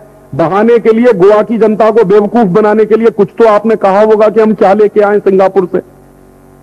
तो उन्होंने कहा कि हम बस इतना ही करके आए। कि सिंगापुर में जो ट्रैफ़िक पुलिस का ऑफिसर है, उसकी ड्रेस हमको बहुत अच्छी लगी वो ही हम ले आए वहाँ से। और वो गोवा के ट्रैफ़िक पुलिस ऑफिसर को उन्होंने पहना दी अभी आप कभी गोवा जाइए तो इस समय गोवा का जो ट्रैफ़िक पुलिस का सिपाही है, वो वही ड्रेस पहनता है, जो सिंगापुर में ट्रैफ़िक पुलिस का सिपाही पहनता। उन्होंने मान लिया कि ट्रैफ़िक प्रॉब्लम सॉल्व हो गई। करोड़ों रुपया बर्बाद किया होगा उस काम के लिए। कैसे आपका टैक्स बर्बाद होता है? सरकारों के द्वारा हिंदुस्तान में कुछ मंत्री हैं जो एक्स मिनिस्टर हो गए। पहले वो मिनिस्टर थे। तो जैसे ही उनका ब्लड प्रेशर हाई होता था, रोज हवाई जहाज़ में उनके लंदन पहुँच गए। कभी ह्यूस्टन पहुँच गए, कभी कहीं पहुँच गए। जैसे हिंदुस्तान के सब डॉक्टर मर गए, यहाँ कोई हॉस्पिटल है ही नहीं। उनका इलाज तो वहीं होगा विदेश में जाके। और ऐसे एक नहीं 57 एक्स मिनिस्टर्स हैं जो अपना इलाज कराने के लिए विदेश गए, जिसमें उन्होंने करोड़ों रुपया डुबो दिया इस देश के लोगों के खून पसीने की कमाई का। हमारे कुछ दोस्तों ने दिल्ली में सुप्रीम कोर्ट में पब्लिक इंटरेस्ट पिटीशन किया है इस मुद्दे पे। तो जैसे ही हम सुप्रीम कोर्ट में गए तो 57 एमपीज के कान खड़े हो गए। बहुत कोशिश की उन्होंने कि ये मत करिए मत करिए मत करिए। डराया, धमकाया, सब किया। मैंने कहा, हमको पता चल गया है, हम करेंगे। देश की जनता को पता तो चले कि तुम कैसे बर्बाद करते हो देश के लोगों का पैसा। और हम लोगों ने एक ही प्रे किया है उनसे कि जो पैसा इन्होंने खर्च किया है अपने इलाज पर, वो इनसे वसूलना चाहिए, क्योंकि वो नेशनल मनी है। इनके बाप का नहीं है, इनके घर का नहीं। तो कोर्ट ने नोटिस इशू किए है। और नोटिस इशू किए हैं तो उसमें कुछ होने की संभावना है। और होने की संभावना है तो एक दिन आपको पता चलेगा कि हिंदुस्तान में ऐसे सत्तावन नेता हैं, जो अपना इलाज के लिए करोड़ों रुपया बर्बाद करके आए हैं विदेशों में। ऐसे आपका पैसा बर्बाद करते हैं ये, जो आप टैक्स के रूप में इनको देते हैं। और ये सरकार पता है कैसी है? मैं अक्सर एक गंभीर बात कहता हूँ, लेकिन मज़ाक में कहता हूँ उसको। हिंदुस्तान में एक शराबी पति जैसा व्यवहार करता है, वैसे भारत सरकार व्यवहार करती शराबी पति क्या कहता है? शराबी पति कहता है अपनी पत्नी से कि आज पैसा दे दे, कल से पीना छोड़ दूँगा।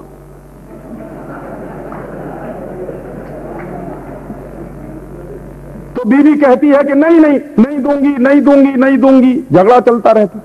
फिर बेचारी बीबी पसीज जाती है, दे देती है निकाल के। इस उम्मीद में कि शायद ये कल से शराब पीना छोड़ देगा। वो कल दूसरे दिन फिर आ जाता और कहता, आज और दे दे, अब कल से नहीं पीऊँगा। और उसकी कल कभी नहीं आती। वो रोज लेके जाता है घर से और पैसा बर्बाद करके आता है शराब में। हिंदुस्तान की सरकार की यही हालत है। वो क्या कहती है? आज दे दो, इकतीस दिसंबर तक कल से नहीं मांगेंगे आप।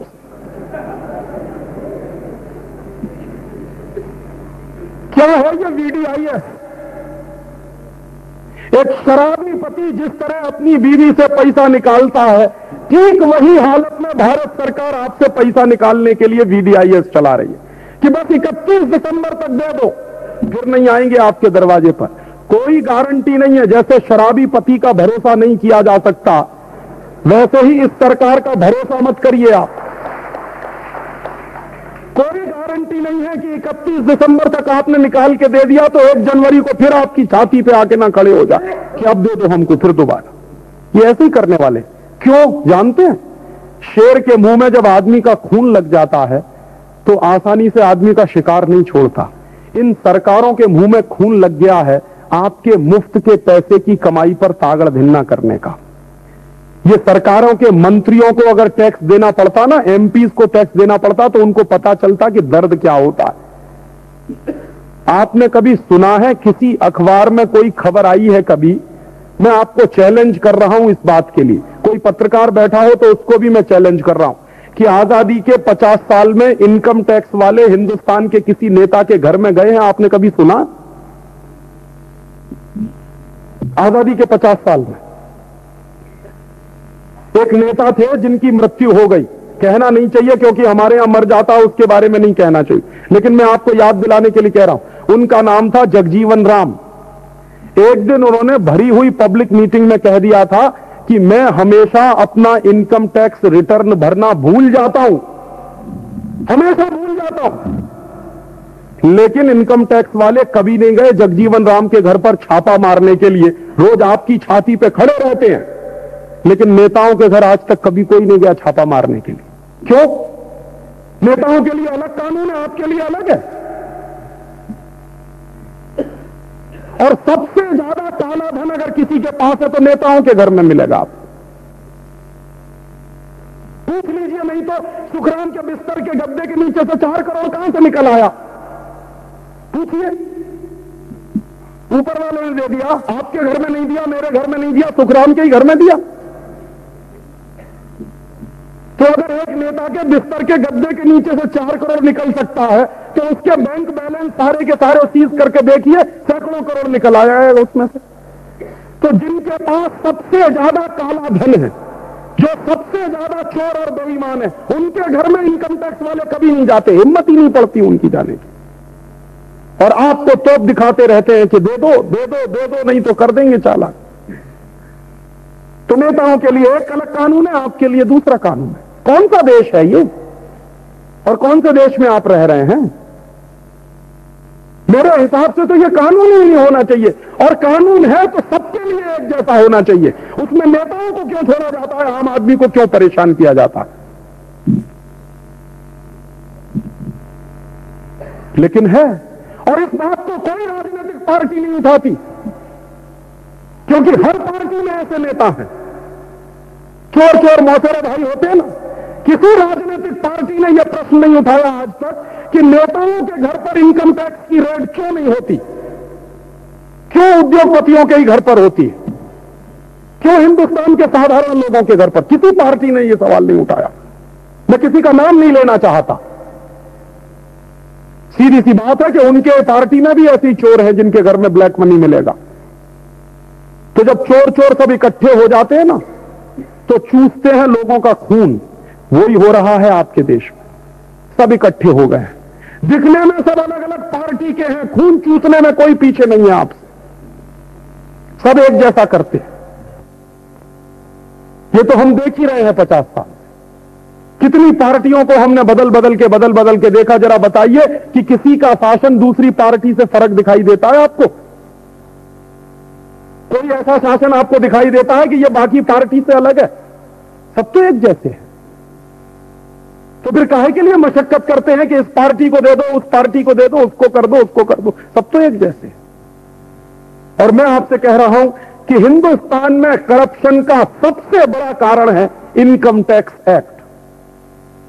हिंदुस्तान में करप्शन का दूसरा सबसे बड़ा कारण है सेंट्रल एक्साइज एक्ट। और ये दोनों कानून जिस दिन खत्म हो जाएँगे, मैं आपको दावे से कह सकता हूँ 70 परसेंट करप्शन इस देश में खत्म हो जाए। क्यों? क्योंकि कोई भी पैसा काला और सफ़ेद नहीं होता। पैसा पैसा होता है। कानून गलत है। जो एक पैसे को काला कहता है, दूसरे पैसे को सफ़ेद कहता है। और अगर गलत कानून है, उसके हिसाब से आपको हांका जा रहा है डंडा मार मार के, बजाय इसके कि हम वो गलत कानून ही बदल रहे तो व्यवस्था ठीक हो जाएगी।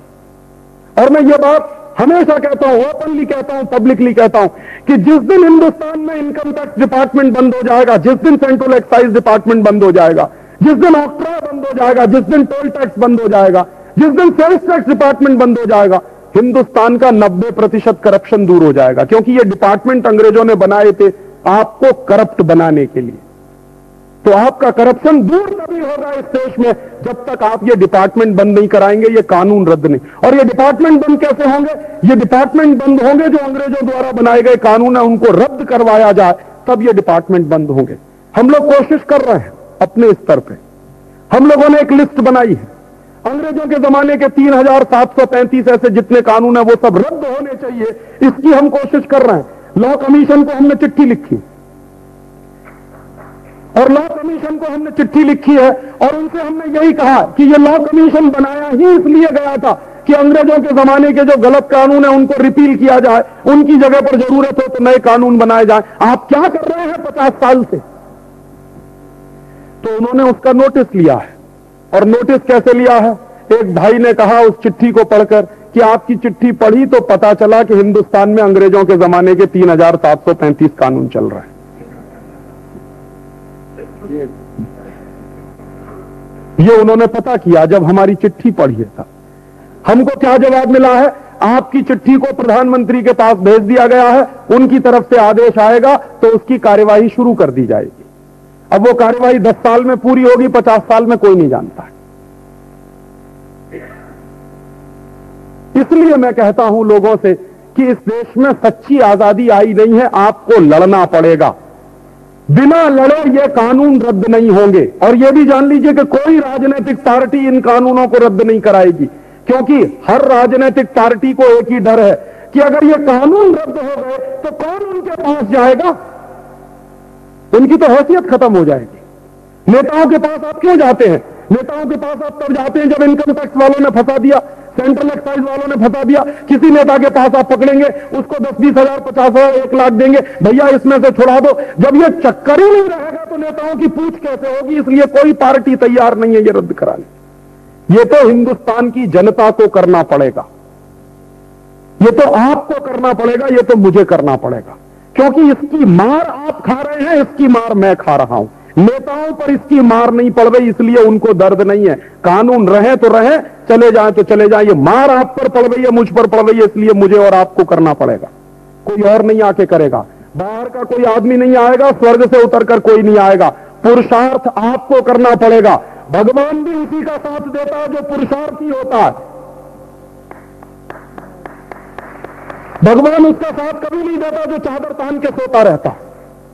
पुरुषार्थी बनना पड़ेगा आपको। और ऐसे गलत व्यवस्थाओं के कानून आपको रद्द कराने पड़ेंगे। ऐसे ही कुछ और भी दूसरी व्यवस्थाएँ जो अंग्रेज़ों के जमाने की है, जिनको रद्द कराना पड़ेगा।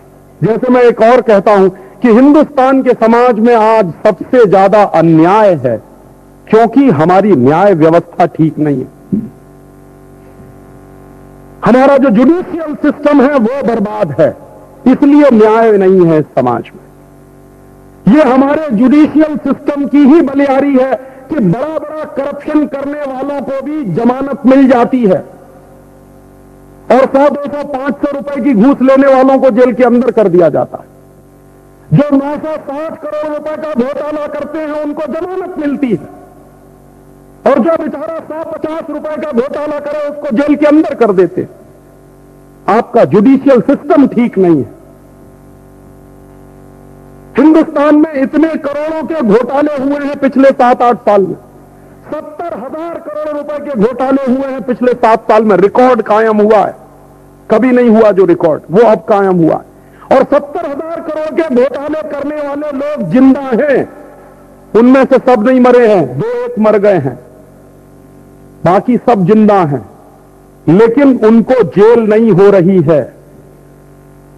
सब छूटे हुए इधर उधर घूम रहे हैं। और उनमें से कई लोग तो शायद इस बार इलेक्शन की तैयारी भी कर रहे हैं। तो आपकी कानून व्यवस्था लचर है, आपकी न्याय पद्धति बेकार है। जिसमें बड़े बड़े करप्शन करने वालों को खुली छूट है, माने बड़े बड़े मगरमच्छों को खुली छूट है छोटी छोटी मछलियों को पकड़ने के लिए जाल बिछा के बैठे हुए। तो ये न्याय की पद्धति ठीक नहीं है, क्योंकि ये अन्याय करती है। और ये न्याय की पद्धति ठीक क्यों नहीं है? क्योंकि अंग्रेज़ों ने इसको कायम किया है। आपको मालूम नहीं है, अंग्रेज़ों के ऑफिसर्स थे, वो हिंदुस्तान में सबसे ज़्यादा करप्शन करते थे। अंग्रेज़ों के ऑफिसर सबसे ज़्यादा करप्शन करते थे। और अंग्रेज़ों के ऑफिसर सबसे ज़्यादा करप्शन करते थे तो उस करप्शन में से छूटने के लिए भी वो रास्ते बना के रखते थे। तो हर किए हुए करप्शन में से छूटने का रास्ता बनाकर रखने के लिए कानून ऐसे लचर बनाते थे जो हर एक को छोड़ने का रास्ता देता था। एक सबसे करप्ट ऑफिसर था अंग्रेज़ों का रॉबर्ट क्लाइव। उसको कभी कोई सजा नहीं हुई, क्योंकि कानून इस तरह के बनाए थे एक और करप्ट ऑफिसर था वॉरेन हेस्टिंग। उसको कभी सजा नहीं हुई। और करप्ट होने के साथ साथ बहुत अत्याचारी पुलिस ऑफिसर था, डायर। उसको कभी सजा नहीं हुई। करप्ट होने के साथ साथ अत्याचारी पुलिस ऑफिसर था सैंडर्स उसको कभी सजा नहीं हुई। तो क्यों नहीं हुई? क्योंकि कानून ऐसे लचर थे। हर एक ऑफिसर अंग्रेज़ों का छूट जाता था। कभी भी उस कानून के चक्कर में नहीं आता था। बेचारे सीधे साधे हिंदुस्तानी उसमें मारे जाते थे। क्योंकि न्याय व्यवस्था ऐसी बनाई थी। और मैकोले ने बनाया था इस देश में आईपीसी का कानून, जिसके आधार पर चलता है हिंदुस्तान का न्यायालय। इंडियन पीनल कोड मैकोले का बनाया हुआ है। और मैकोले जब इस कानून को बना रहा था तो अक्सर एक बात कहा करता था वो, कि मैं हिंदुस्तान में एक ऐसी व्यवस्था लागू करने जा रहा हूँ, जिसके लागू होने के बाद हिंदुस्तानी लोगों को कभी न्याय नहीं मिलेगा। वो खुद कहता था इस बात। तो क्या होगा? हिंदुस्तान के लोग मुकदमे दर मुकदमे लड़ते रहेंगे, लेकिन कभी न्याय नहीं मिलेगा किसी को। मुकदमों के फैसले होते रहेंगे, लेकिन न्याय कभी किसी को नहीं मिलेगा। और वो कितना कुटिल आदमी था, वो कहा करता था कि जिस समाज में लोगों को न्याय मिलना बंद हो जाता है, वो समाज खंड खंड टूट जाता है। अन्याय जब ज़्यादा बढ़ता है किसी समाज में, वही समाज सबसे जल्दी टूटता तो वो कहता था कि अन्याय जितना बढ़े, अंग्रेज़ों को उतना ही अच्छा इसके लिए उसने बनाया था आईपीसी बनाया था सीआरपीसी बनाया था सीपीसी और वही इस देश में चल रहा है आज़ादी के 50 साल के बाद भी।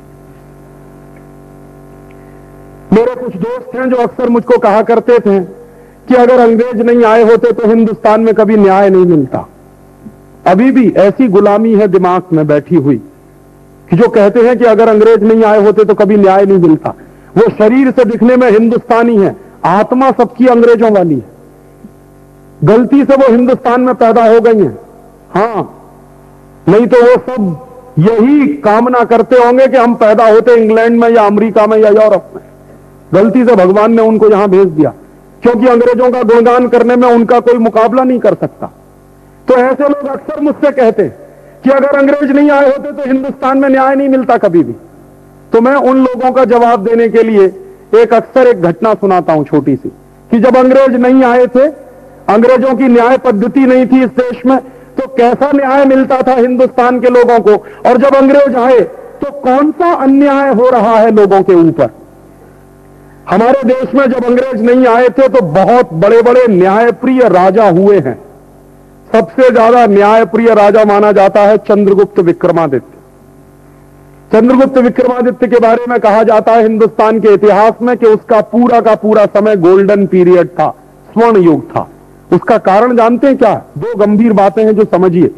चंद्रगुप्त का समय सबसे अच्छा समय माना जाता है। क्यों? क्योंकि उस पूरे पीरियड में हिंदुस्तान के लोगों पर टैक्स सबसे कम था।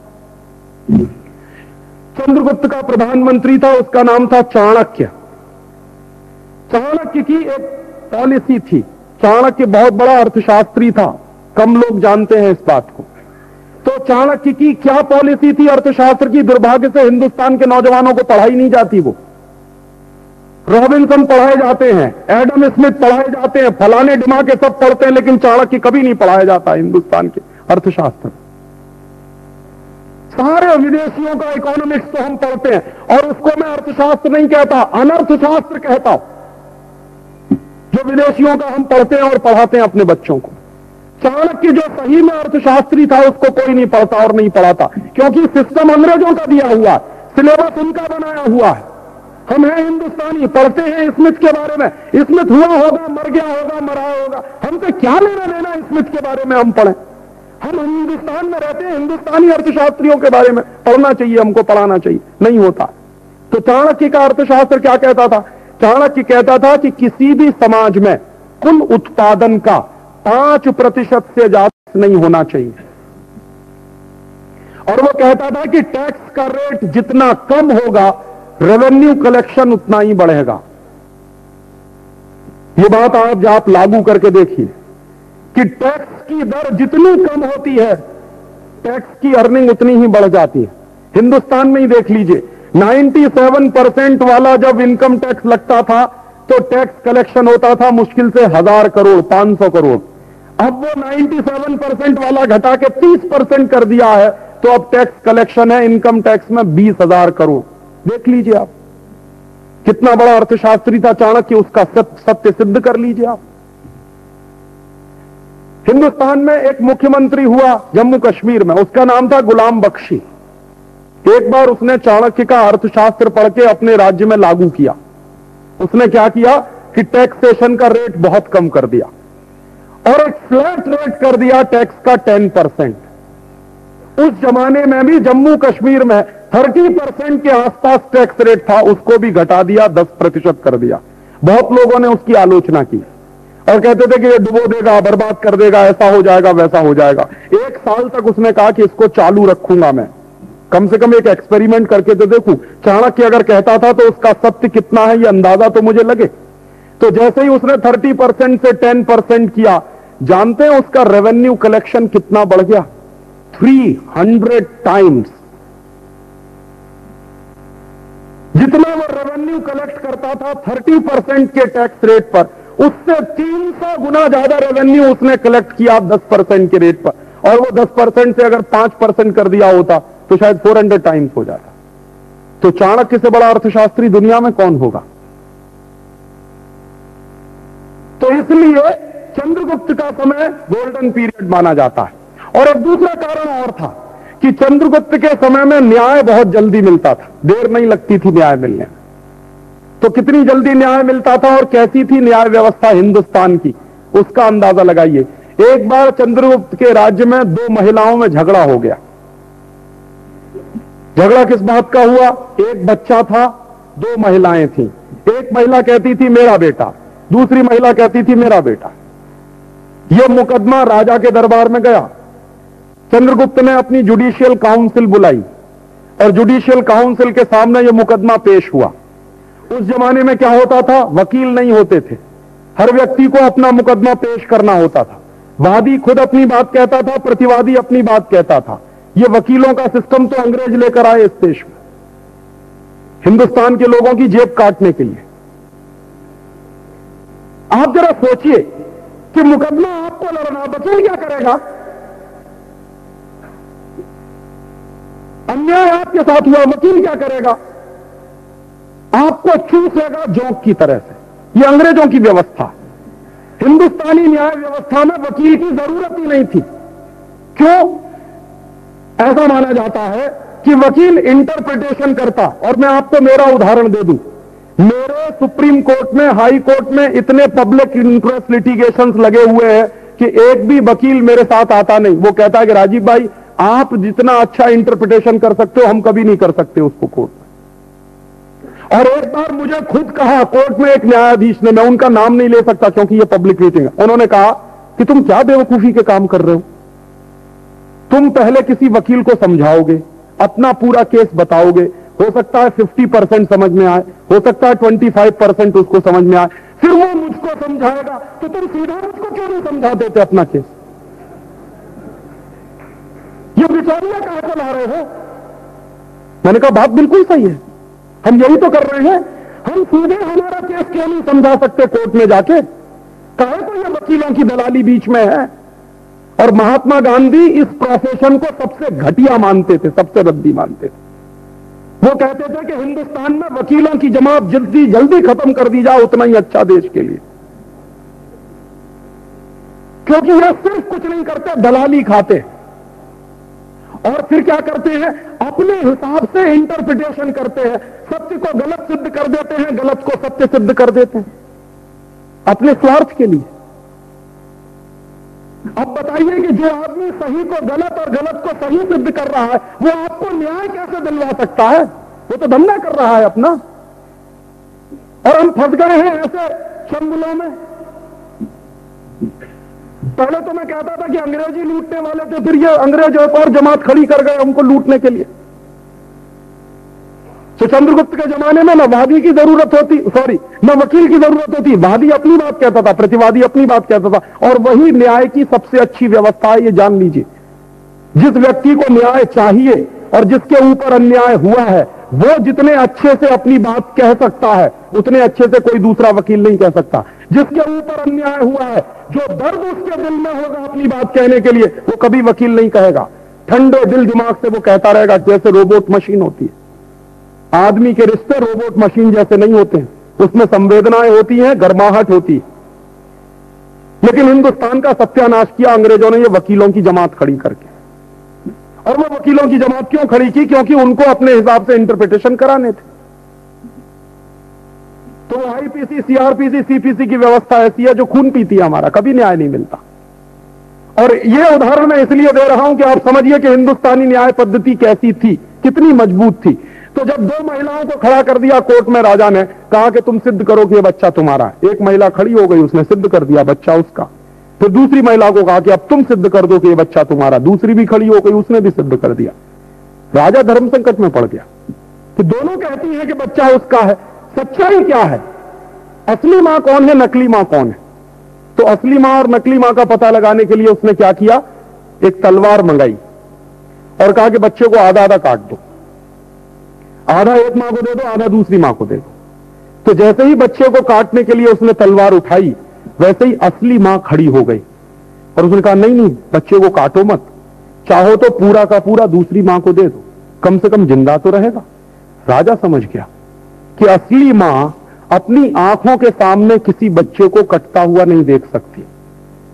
तो उसने क्या किया? नकली माँ से बच्चा छीन कर असली माँ को दे दिया। और इस पूरे मुकदमे का फैसला तीन मिनट के अंदर हो गया। अब आप इसी मुकदमे को लेकर चले जाइए सुप्रीम कोर्ट में। या चले जाइए हाई कोर्ट में, या चले जाइए लोअर कोर्ट में। तो मैं आपको यह कह सकता हूँ कि कम से कम 20 साल लग जाएँगे। यह तय नहीं हो पाएगा कि कौन असली माँ है, कौन नकली माँ है। और हो सकता है असली माँ भी मर जाए, नकली माँ भी मर जाए, मुकदमा चलता रहेगा।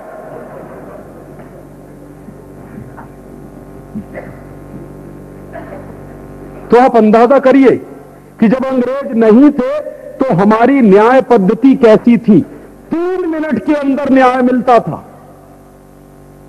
और आप एक दूसरी बात भी जानते हैं। अगर आपको समय पर न्याय नहीं मिलता तो आपके साथ अन्याय हो रहा है।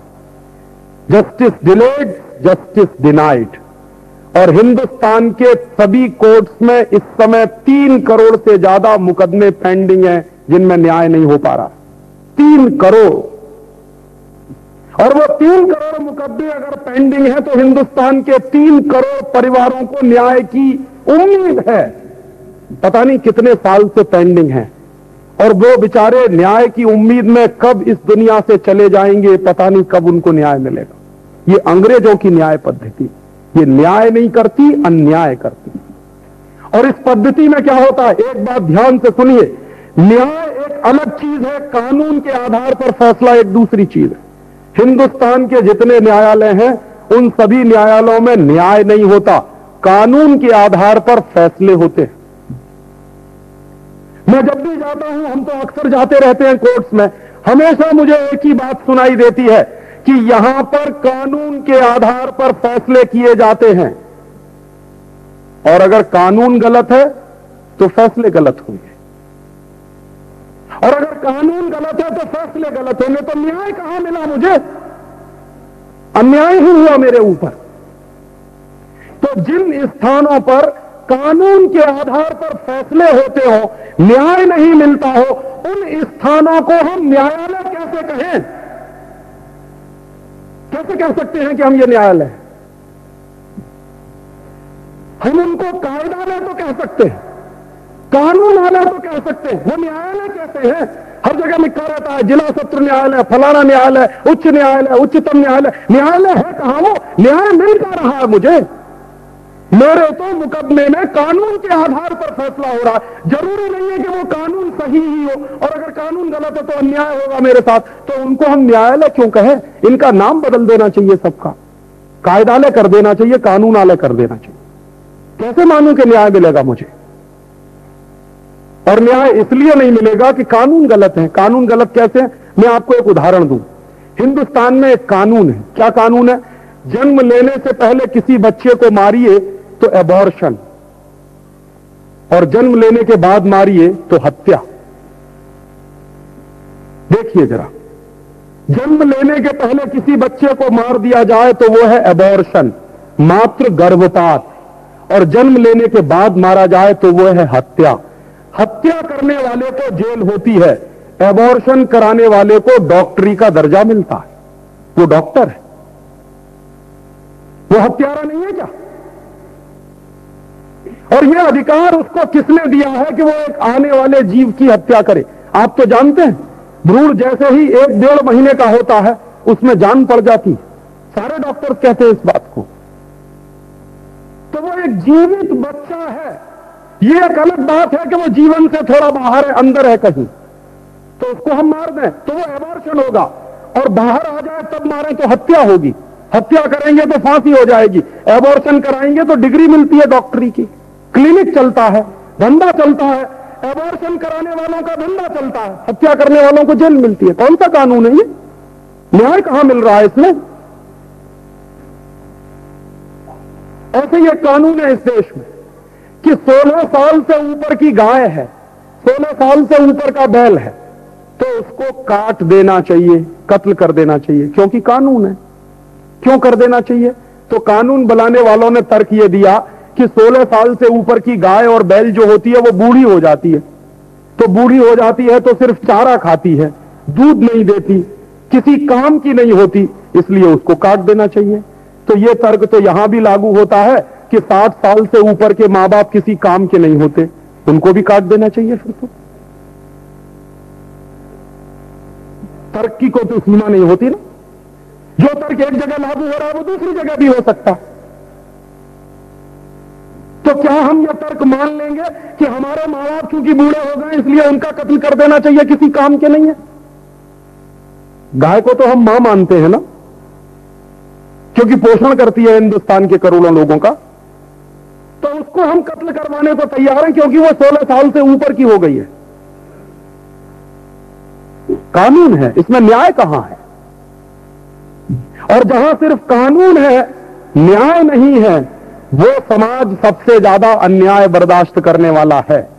और वही अन्याय आज हर व्यक्ति पर हो रहा है। पूछिए जो लोग कोर्ट और कचहरी के चक्कर में फंस जाते हैं, ज़िंदगी बर्बाद हो जाती है। सबसे बड़ा अन्याय है लोगों के ऊपर कि एक बार अगर कोई कोर्ट कचहरी के चक्कर में फंस गया तो ज़िंदगी चली जाएगी, उसकी खेत बिक जाएगा उसके घर बिक जाएँगे, उसके गहने बिक जाएँगे, और इसकी कोई गारंटी नहीं है कि घर बेचकर, गहने बेचकर, खेत बेचकर उसको न्याय मिल ही जाएगा। कोई गारंटी नहीं है इसकी। हिंदुस्तान के लाखों लाखों, करोड़ों करोड़ों लोग, गाँव में रहने वाले बेचारे सीधे साधे लोग, ऐसे ही बर्बाद हो रहे हैं इस कोर्ट कचहरी के चक्कर में। ऐसे ही बर्बाद हो रहे हैं। न्याय कहाँ मिल रहा? है हिंदुस्तान की आज़ादी के सपने का क्या हुआ है और न्याय तभी मिलेगा हिंदुस्तान में जब आईपीसी खत्म किया जाएगा। न्याय तभी मिलेगा जब यह सीआरपीसी खत्म किया जाए। न्याय तभी मिलेगा जब सीपीसी खत्म किया जाएगा। तो कुछ लोग ये कहेंगे कि आईपीसी खत्म हो जाएगा सीआरपीसी खत्म हो जाएगा सीपीसी खत्म हो जाएगा, तब क्या होगा? जब आईपीसी नहीं था सीआरपीसी नहीं था सीपीसी नहीं था, तब क्या होता था? हमारे पास बहुत सारी व्यवस्थाएँ, हम बना लेंगे अपनी। और इतनी बुद्धि तो है ही हमारे पास कि हम हमारी व्यवस्था बना सकते हैं और चला सकते हैं। हिंदुस्तान के लोग इतने बुद्धिशाली हैं, कोर्ट उनको मरवा देता है। कई बार क्या होता है, दो पार्टियाँ झगड़ा अगर करती हैं, सुलह करने को तैयार है, वकील सुलह नहीं होने देता क्योंकि फ़ीस नहीं मिलेगी उसको। कई बार ऐसा होता है। हिंदुस्तान की सरकार ने मैट्रिमोनियल केसेस के लिए कोर्ट खोल दिए मियाँ बीवी में कभी कभी झगड़ा हो जाता, होते ही रहते हैं और होने भी चाहिए। क्योंकि कई बार विचारों का मेल नहीं होता तो ठीक ही है, थोड़ा बहुत तो चलता ही रहता। लेकिन वो मैट्रिमोनियल केसेस में हमेशा तलाक तक नौबत ले जाके पहुँचा देते हैं। वो आपस में बेचारे मिल बैठ के कभी कोई सुलह कर सकते हैं। तलाक तक पहुँच जाती है नौबत। जब से हिंदुस्तान में ये केसेस हुए हैं, मुझे तो तलाक की संख्या सबसे ज़्यादा नज़र आ रहे हैं इस देश में। जब ये नहीं था, तब इस देश में कम से कम तलाक तो नहीं हुआ करते कस्तूरबा और महात्मा गांधी का जितना झगड़ा होता था, आप कल्पना नहीं कर सकते। लेकिन कभी तलाक तक नौबत नहीं पहुँची। कस्तूरबा और गांधी जी के विचारों में बहुत ज़मीन आसमान का फ़र्क था। बहुत कम लोग ये बात जानते। गांधी जी ने बहुत ईमानदारी से ये बात लिखी है माई एक्सपेरिमेंट विद ट्रूथ में। गांधी जी कुछ मायनों में बहुत ईमानदार थे। जीवन के अंदर जो कुछ है, उसको लिख दिया उन्होंने। उन्होंने कहा कि मेरे और उसके विचार में बहुत ज़्यादा मतभेद है। लेकिन कभी तलाक तक नौबत नहीं पहुँची। आज तो हम देखते हैं। तो ये अन्याय की व्यवस्था है, न्याय की नहीं है। और इसके एक हज़ार एक उदाहरण मैं आपको दे सकता हूँ। इसलिए हमको एक दूसरा काम करना पड़ेगा। जैसे मैंने कहा कि अगर इस समाज से करप्शन खत्म करना है तो इनकम टैक्स, सेंट्रल एक्साइज, तमाम टैक्सेशन के डिपार्टमेंट बंद कराने पड़ेंगे। ये कानून रद्द कराने पड़ेंगे। और हिंदुस्तान के समाज से अन्याय खत्म करना है तो आपको ये न्याय की पद्धति रद्द करवानी पड़ेगी जो अंग्रेज़ों के जमाने की चल रही है। और ऐसे ये तीसरी बात कि अंग्रेज़ों ने हिंदुस्तान को बर्बाद करने के लिए एक और जो सबसे खतरनाक काम किया कभी कभी एक बार मेरे एक दोस्त ने पूछा था कि तुम्हारे मन में इतना गुस्सा है, इतना जहर है, तुम अंग्रेज़ों को कौन से दो कामों के लिए कभी माफ़ नहीं कर सकते? बाकी सब काम के लिए तुम चाहो तो उनको माफ़ कर दोगे। तो मैंने मेरे दोस्त को लिखा था, वो लंदन में रहता, उसने चिट्ठी से मुझको पूछा कि कौन से ऐसे दो काम है जिनके लिए तुम कभी अंग्रेज़ों को माफ़ नहीं कर सकते? तो मैंने कहा, मैं अंग्रेज़ों को दो काम के लिए कभी माफ़ नहीं करूँगा। पहला, एक तो उन्होंने हिंदुस्तान की न्याय पद्धति को बर्बाद किया, और दूसरा, उन्होंने हिंदुस्तान की शिक्षण पद्धति को बर्बाद किया। इन दो कामों के लिए मैं कभी माफ़ नहीं कर सकता उनको और ये दोनों काम एक ही व्यक्ति ने किए थे मैकोले ने मैकोले ने ही हिंदुस्तान की शिक्षण पद्धति बर्बाद की थी। मैकोले ने ही हिंदुस्तान की न्याय पद्धति बर्बाद की थी। और वो मैकोले की चलाई गई न्याय पद्धति आज तक चल रही है मैकोले की चलाई हुई शिक्षण पद्धति भी आज तक इस देश में चल रही मैकोले ने क्या किया था? मैकोले को भेजा गया था इंग्लैंड से बाकायदा एक मिशन पर। और वो मिशन क्या था? हिंदुस्तानी समाज को तोड़ना है। इसके लिए मैकोले आया था। तो हिंदुस्तानी समाज को तोड़ने के लिए मैकोले ने काफ़ी अध्ययन किया था। और उस अध्ययन के बाद उसको जानकारी मिली। कि हिंदुस्तानी समाज को तोड़ना है तो हिंदुस्तानी संस्कृति को तोड़ना पड़ेगा, नहीं तो यह समाज नहीं टूटेगा। और हिंदुस्तानी संस्कृति कैसे टूटेगी? बहुत अध्ययन करने के बाद मैकोले इस निष्कर्ष पर पहुँचा कि हिंदुस्तानी संस्कृति जिस जगह से चलती है, वो जगह तोड़ दो तो संस्कृति टूट जाएगी। तो वो जगह क्या थी? उसने कहा, गुरुकुल। माने हिंदुस्तान में चलने वाले स्कूल्स और कॉलेजेस, जिनको बहुत सुंदर शब्द दिया गया है, गुरुकुल। गुरुकुल से ज़्यादा सुंदर शब्द कोई दूसरा नहीं है। स्कूल और कॉलेज उसकी तुलना में कहीं नहीं टिकता। तो गुरुकुल चलते थे इस देश। और कैसे गुरुकुल चलते थे? बहुत कम लोगों को मालूम है, हिंदुस्तान में शिक्षण की पद्धति जितनी मज़बूत रही, दुनिया में शायद ही किसी देश में होगी। अंग्रेज़ों के आंकड़े हैं। अंग्रेज़ों का एक ऑफिसर था, एडम स्मिथ। उसने कुछ सर्वे किया था। और सर्वे किया था हमारे लिए नहीं, अपने स्वार्थ के लिए। कि हिंदुस्तान के गुरुकुलों को कैसे तोड़ना है, उसके लिए पहले समझना चाहिए। तो उन्होंने सर्वे किया। उस सर्वे की एक रिपोर्ट ये बताती है कि 1835 के साल में हिंदुस्तान की साक्षरता का प्रतिशत 100 परसेंट था। 1835 हम 100 परसेंट लिटरेट थे 1835 तक। और क्यों थे हम 100 परसेंट लिटरेट? उसका उसने सबूत दिया कि हिंदुस्तान में मद्रास प्रेसिडेंसी में उसने जब सर्वे किया सबसे पहला तो मद्रास प्रेसिडेंसी हिंदुस्तान का माने एक तिहाई हिस्सा, जिसमें पूरा कर्नाटक आता था, पूरा आंध्र प्रदेश आता था, तमिलनाडु आता था, केरल आता था, और उड़ीसा का काफ़ी बड़ा इलाका आता था। इतना पूरा हिंदुस्तान माने मद्रास प्रेसिडेंसी। तो मद्रास प्रेसिडेंसी का ऑफ़िस था एडम स्मिथ। उसने किया सर्वे। सर्वे की रिपोर्ट क्या आई? उसने कहा कि मद्रास प्रेसिडेंसी में कुल मिलाकर एक लाख सैतालीस हज़ार गाँव हैं। कुल मिलाकर, पूरी प्रेसिडेंसी में। और मद्रास प्रेसिडेंसी में कुल मिलाकर एक लाख पचास हज़ार गुरुकुल हैं। ये उसका सर्वे है। आप जरा हिसाब लगाइए, हर गाँव में एक गुरुकुल है। और हर गाँव में एक गुरुकुल है माने हर गाँव में एक स्कूल या कॉलेज है। और अगर हर गाँव में एक ही स्कूल और कॉलेज है तो साक्षरता तो सौ प्रतिशत होने ही वाली है। एक दूसरी बात और बता दूँ आपको, जो आपको आश्चर्य लगेगा। मुझे भी नहीं मालूम था, जब एडम स्मिथ का सर्वे में निकाल के लाया लंदन के हाउस ऑफ़ कॉमन्स की लाइब्रेरी से, तब मुझे पता चला। एडम स्मिथ ने एक दूसरी बात और लिखी आश्चर्यजनक, कि वो जो एक लाख पचास हज़ार गुरुकुल हैं, उनमें से बाईस हज़ार गुरुकुल उच्च शिक्षा के स्थान हैं। माने इंस्टीट्यूट फॉर हायर एजुकेशन, जिनको हम यूनिवर्सिटीज कह सकते हैं। बाईस हज़ार, एक दो नहीं, बाईस हज़ार। क्या शिक्षा उसमें दी जाती है? तो वो लिख रहा है कि उनमें 18 तरह के विज्ञान शास्त्र पढ़ाए जाते हैं। जिनके नाम भी हमको नहीं मालूम। क्या क्या पढ़ाते हैं? एस्ट्रोफिजिक्स 1835 में पढ़ाया जाता था इस देश में उसको संस्कृत में जो कहते थे, आज उसका इंग्लिश इक्विवेलेंट है एस्ट्रोफिजिक्स दूसरा पढ़ाते थे एस्ट्रोनॉमी तीसरा पढ़ाते थे वैदिक मैथमेटिक्स और वैदिक मैथमेटिक्स के कैलकुलेशन ऐसे हैं कि आप तीन चार सूत्र सीख लीजिए कैलकुलेटर से जल्दी कैलकुलेशन आप कर सकते हैं। वैदिक मैथमेटिक्स में ऐसे कई फॉर्मूले हैं। हमारी एक कोई बहन है, उसका नाम है शकुंतला देवी। तो कहा जाता है कि वो कंप्यूटर से ज़्यादा तेज खेल। उनको कुछ नहीं मालूम, वैदिक मैथमेटिक्स की मास्टर है वो, बस, और कुछ नहीं। तो वैदिक मैथमेटिक्स उनको इतना ज़बरदस्त आता है कि वो आप उनको हज़ार संख्या का मल्टीप्लीकेशन दे दीजिए। सेकंड्स में वो जवाब दे सकती हैं। वो फॉर्मूले थे वैदिक मैथमेटिक्स में। वो पढ़ाया जाता था इस देश क्या पढ़ाया जाता था? नीति शास्त्र, जिसको आज हम कहते हैं मॉरल एजुकेशन एक्चुअली वो था नीति शास्त्र। नीति शास्त्र में था। इसको समझिए। विज्ञान में और शास्त्र में फ़र्क होता। नीति विज्ञान नहीं था, माने मॉरल साइंस नहीं था, नीति शास्त्र था।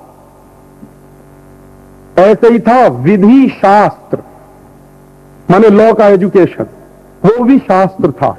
और ऐसे 18 बड़े विज्ञान पढ़ाए जाते थे। और पढ़ाया जाता था सिविल इंजीनियरिंग में। ये जितनी टेक्नोलॉजी है स्ट्रक्चरिंग की, जिसको आप आर्किटेक्ट कहते हैं, हिंदुस्तान से बड़ा आर्किटेक्ट दुनिया में कहीं नहीं है। जो हिंदुस्तान का आर्किटेक्चर है, दुनिया में कहीं नहीं मिलेगा आपको, चले जाइए किसी भी देश में। और मैंने तो यूरोप देखा है, यूरोप में बहुत सारी ऐसी बिल्डिंगें हैं जो हिंदुस्तान के आर्किटेक्ट की नकल करके बनाई गई हैं। मैं तो इस बात का क्लेम करने वाला हूँ कि एक भी बिल्डिंग यूरोप में ओरिजिनल नहीं है। चर्च के जितने स्ट्रक्चर हैं, वो हिंदू मंदिरों पर से नकल किए गए एक भी चर्च का स्ट्रक्चर यूरोप में ओरिजिनल नहीं है। फ्रांस का जो सबसे बड़ा चर्च माना जाता है नौत्रदाम नौत्रदाम चर्च हिंदुस्तान के मंदिर की बिल्कुल नकल है। और नौत्रदाम चर्च के पास एक जमाने में कहते हैं शिवजी का मंदिर हुआ करता था। कभी मौका मिला तो आपसे इस विषय पर बात करने आऊँगा हेरिटेज क्या है, हमको मालूम नहीं है। वो अपना पूरा एक लेक्चर ही हो जाएगा तीन घंटे का, इसलिए मैं वो विषय में नहीं लाना चाहता। मैं सिर्फ़ एजुकेशन की बात कर रहा हूँ कि हिंदुस्तान में एजुकेशन कैसा पढ़ाते थे। और 18 सॉरी 1790 तक हिंदुस्तान में सर्जरी की शिक्षा देने वाले 2000 कॉलेजेस थे। सर्जरी पढ़ाई जाती थी इस देश में। 1790 के साल की बात कर रहा हूँ। इंग्लैंड में सर्जरी हिंदुस्तान से गई है। 1790 में हिंदुस्तान में प्लास्टिक सर्जरी होती थी। आप पूछेंगे, मुझे कैसे पता चला? एक अंग्रेज़ ऑफिसर था 1790 के साल में, उसका नाम था कर्नल कूट। तो कर्नल कूट क्या हुआ था? हैदर अली से लड़ने आया था। हैदर अली से कई बार लड़ाइयाँ हुई हैं अंग्रेज़ों की। तो कर्नल कूट हैदर अली से लड़ने आया, हर बार हार के गया। आखिरी बार जब वो लड़ाई करने आया तो हैदर अली ने कहा कि अब तुझको ज़िंदा नहीं छोड़ूँगा। बार बार आता है बार बार लड़ता है कभी हरा के भी तो देख। कभी नहीं हरा पाया वो हैदर अली को। तो हैदर अली ने एक बार फैसला कर लिया कि ये लड़ाई आखिरी लड़ाई होगी। उसने कहा बार बार ये चुहा बिल्ली का खेल खेलने से फ़ायदा क्या? तो जब हारा है कर्नल कूट आखिरी युद्ध में तो वो साल था 1790 का। तो हैदर अली ने पता है क्या किया उसकी? नाक काटी थी उसकी। और हमारे देश में उस जमाने में एक प्रथा होती थी कि नाक कटवा के आए हैं, माने बेइज्जती करके आए हैं, बेइज्जती करवा के आए उसने मारा नहीं, नाक काटी उसकी। और कहा कि जब तुम कटी हुई नाक से वापस इंग्लैंड जाओगे तो दोबारा आने की हिम्मत नहीं करोगे। तो कटी हुई नाक को लेकर भागा कर्नल कूट घोड़े पर। हैदर अली की सीमा से जब बाहर निकला तो एक गाँव में एक विद्यार्थी उसको मिला। तो उसने देखा कि नाक से खून बह रहा है और नाक कटी हुई है। तो उस विद्यार्थी ने उससे कहा कि ये कहाँ कहाँ जा रहे हो? तो वो झूठ बोलता, कहता, चोट लग गई है। तो उसने कहा, ये चोट लगी हुई बात नहीं है, ये तो नाक काटी गई है। लेकिन फिर भी वो विद्यार्थी इतना अच्छा है कि कर्नल कूट से कह रहा इशारे में, क्योंकि भाषा नहीं समझते। वो कह रहा है कि तुम मुझे एक डेढ़ घंटे का समय दो, मैं तुम्हारी नाक जोड़ दूँगा। तो कर्नल कूट को पहले तो विश्वास नहीं हुआ। फिर कहता है, मरता क्या ना करता, खून निकल रहा है इतना। तो उसने कहा, चलो ठीक है। तो उसने, बच्चे ने ऑपरेशन किया है, जिसकी उम्र उस जमाने में 21 साल के आसपास की है, उस विद्यार्थी की। और डेढ़ घंटे ऑपरेशन चला है। डेढ़ घंटे ऑपरेशन चलाने के बाद उस विद्यार्थी ने कर्नल कूट को अपने घर में तीन दिन रखा है। और तीन दिन के बाद उसको फ्री कर दिया कि अब तुम जा सकते कर्नल कूट लौट के लंदन गया है और उसने ये पूरी घटना ऑटोबायोग्राफी के रूप में लिखी और वो किताब मेरे पास है इस समय। 1790 की है। अब कितनी मुश्किल से मिली हुईगी वो आप मत पूछिए मुझसे, लेकिन वो है मेरे पास। और उस किताब को मैं संभाल के रखा हुआ हूँ ये सिद्ध करने के लिए कि 1790 में हिंदुस्तान में प्लास्टिक सर्जरी होती थी। फिर कर्नल कूट ने क्या किया? अपने एक दोस्त को कहा है कि तुमको अगर कुछ सीखना है तो हिंदुस्तान जाओ। तुमको कुछ नहीं आता यहाँ पर तो लंदन में कह रहा है। तो अपने किसी दोस्त को उसने हिंदुस्तान भेजा है, वो मद्रास में रहा है, प्रेसिडेंसी के आसपास के गाँव में घूमा है 25-30 साल उसने अध्ययन किया है, लौट के वापस गया है तो लंदन में एफ़ आर एस की स्थापना की है fellow of the Royal Society की। जिसमें आज डिग्री लेने के लिए हमारे डॉक्टर भागे भागे जाते हैं।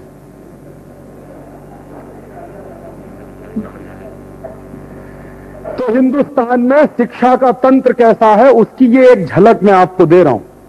दूसरी झलक वो आज आप देख सकते हैं कि हिंदुस्तान में जितने मंदिर बनाए गए हैं, जितनी इमारतें बनाई गई हैं, उनमें से एक भी इमारत गिरती नहीं। जैसे आज बनाए गए पुल दो दिन बाद गिर जाते हैं, वो इमारत नहीं गिरती है। कितने बड़े बड़े किले बने हुए हैं। मेरे गाँव में जहाँ का मैं रहने वाला हूँ, एक गढ़ी बनी हुई है। पूरा का पूरा किला मिट्टी से बना हुआ है, मड से। और आज तक नहीं गिरा है। कितने सौ साल पुराना है, आप उसकी कल्पना नहीं कर सकते। आज तक नहीं गिरा है। क्या मिट्टी है? कुछ नहीं है। ब्लैक कॉटन सॉइल है। और वो ब्लैक कॉटन सॉइल का प्रिपरेशन ऐसा है, जो खड़ी हुई है सैकड़ों साल से। कोई माई का लाल दावा करके दिखा दे, कंक्रीट की बिल्डिंग जो खड़ी रह जाए, सौ साल से भी ज़्यादा। ये साइंस था हमारे यहाँ, ये हम पढ़ते थे, ये हमारे यहाँ पढ़ाया जाता था। हिंदुस्तान के आर्किटेक्ट के बारे में तो दुनिया के तमाम दूसरे लोगों ने लिखा, वेन सांग, एक चीनी यात्री है। उसने हिंदुस्तान के आर्किटेक्ट के बारे में एक ही शब्द कहा है मार्वलस। हो नहीं सकता, कल्पना की बाहर है उसके। एक फ्रांसीसी आया है, उसका नाम है बर्नियर, पियरे बर्नियर। मूल रूप से वो साइंटिस्ट है, लेकिन घूमने का काम बहुत करता है। जब वो यहाँ आया है तो हिंदुस्तान के आर्किटेक्ट के बारे में उसने जो किताब लिखी है, पढ़ने लायक है। क्या विज्ञान रहा है इस देश में? बर्नियर ने एक मंदिर के बारे में लिखा हिंदुस्तान में दक्षिण में कहीं है। अब वो जगह शायद नहीं है, हो सकता मंदिर टूट गया हो कुछ साल में। वो लिख रहा है कि मंदिर में मैं गया तो अद्भुत विज्ञान का वहाँ मैंने वो देखा। मंदिर में एक जगह में खड़ा हुआ, मैंने चिल्लाना शुरू किया तो मेरी आवाज़ तीन किलोमीटर तक जा रही थी। और उसके एक कदम बाद मैंने चिल्लाना शुरू किया तो मेरी आवाज़ बगल वाला नहीं सुन सकता। तो ये कोई बहुत गहरा ही साइंस होगा, ऐसे ही नहीं बनाया गया। कोणार्क के सूर्य मंदिर का दरवाज़ा आप कभी देखने जाइए, मैं गया हूँ। सूर्य निकलते ही पहली किरण भगवान के ऊपर जाती है। तो कोई साइंस था, कोई मज़ाक नहीं है। और इतना गहरा साइंस रहा होगा, तब ये स्ट्रक्चर हैं, जो आज भी हम देख रहे हैं। भगनाववेश भी हमारे जो है, ध्वस्त खंडहर भी है, जो कहानी कह रहे हैं कि कितनी बड़ी विज्ञान हमारे पास रही है। वो विज्ञान हमारे एजुकेशन सिस्टम का हिस्सा था। और उस विज्ञान से हिंदुस्तान चलता था। जैसे मैंने आपसे कहा, दस हज़ार फैक्ट्रियाँ थी, लोहा बनाने वाली। कल्पना हो सकती है किसी को। और उस जमाने में जितना लोहा बनता था, वो करीब करीब उतना ही है जितना आज बनता है इस देश में। कोई मज़ाक नहीं था इस देश में, बहुत गहरा विज्ञान था। हमारे यहाँ कपड़े को रंगने के लिए जो रंग बनाते हैं, जो नेचुरल कलर्स बनाते हैं, दुनिया में उससे बड़ा विज्ञान कहीं नहीं। अभी भी आप जाइए कोयम्बटूर के इलाके में आपको वो सब मिल जाएगा, मैं तो देख के आया अभी भी आप जाइए मध्य प्रदेश में, सरगुजा के इलाके में, आपको ऐसे लोग मिल जाएँगे जो स्टील बनाने की टेक्नोलॉजी जानते हैं। सरकार ने उनके हाथ बंद कर दिए हैं, कानून बनाकर के वो स्टील नहीं बना सकें। वो रॉ मटेरियल नहीं ले सकते। जापान की कंपनी रोज रॉ मटेरियल लेके जाती है, उनको रॉ मटेरियल लेने की पाबंदी है। इतना गहरा विज्ञान इस देश में रहा है और वो सब हमारे एजुकेशन सिस्टम का हिस्सा था। और कितना ग्लोरियस एजुकेशन सिस्टम रहा है। वो सारे डॉक्यूमेंट्स में पब्लिश करने वाला हूँ। कुछ दिन के बाद आ जाएँगे आपके बीच में। तो आपको अंदाज़ा लगेगा कि क्या एजुकेशन सिस्टम रहा। उस एजुकेशन सिस्टम को बर्बाद करने के लिए आया था मैकॉले। और उसने सबसे पहला काम क्या किया कि हिंदुस्तान की शिक्षण पद्धति को बर्बाद करना है अगर प्रैक्टिकली तो पहले लोगों के दिमाग में इसके प्रति हीन भावना पैदा करनी पड़ेगी। तो उसने हिंदुस्तान में आकर एक मुहावरा कहना शुरू किया कि जो अंग्रेज़ी की पढ़ाई है वो सर्वोच्च और जो संस्कृत की पढ़ाई है वो सबसे रद्दी। ये कहना शुरू किया। और मैकोले ये कहता था कि कोई भी गलत बात कहते रहो कहते रहो कहते रहो कहते रहो, एक दिन उसका असर होता। ये उसने शुरू किया।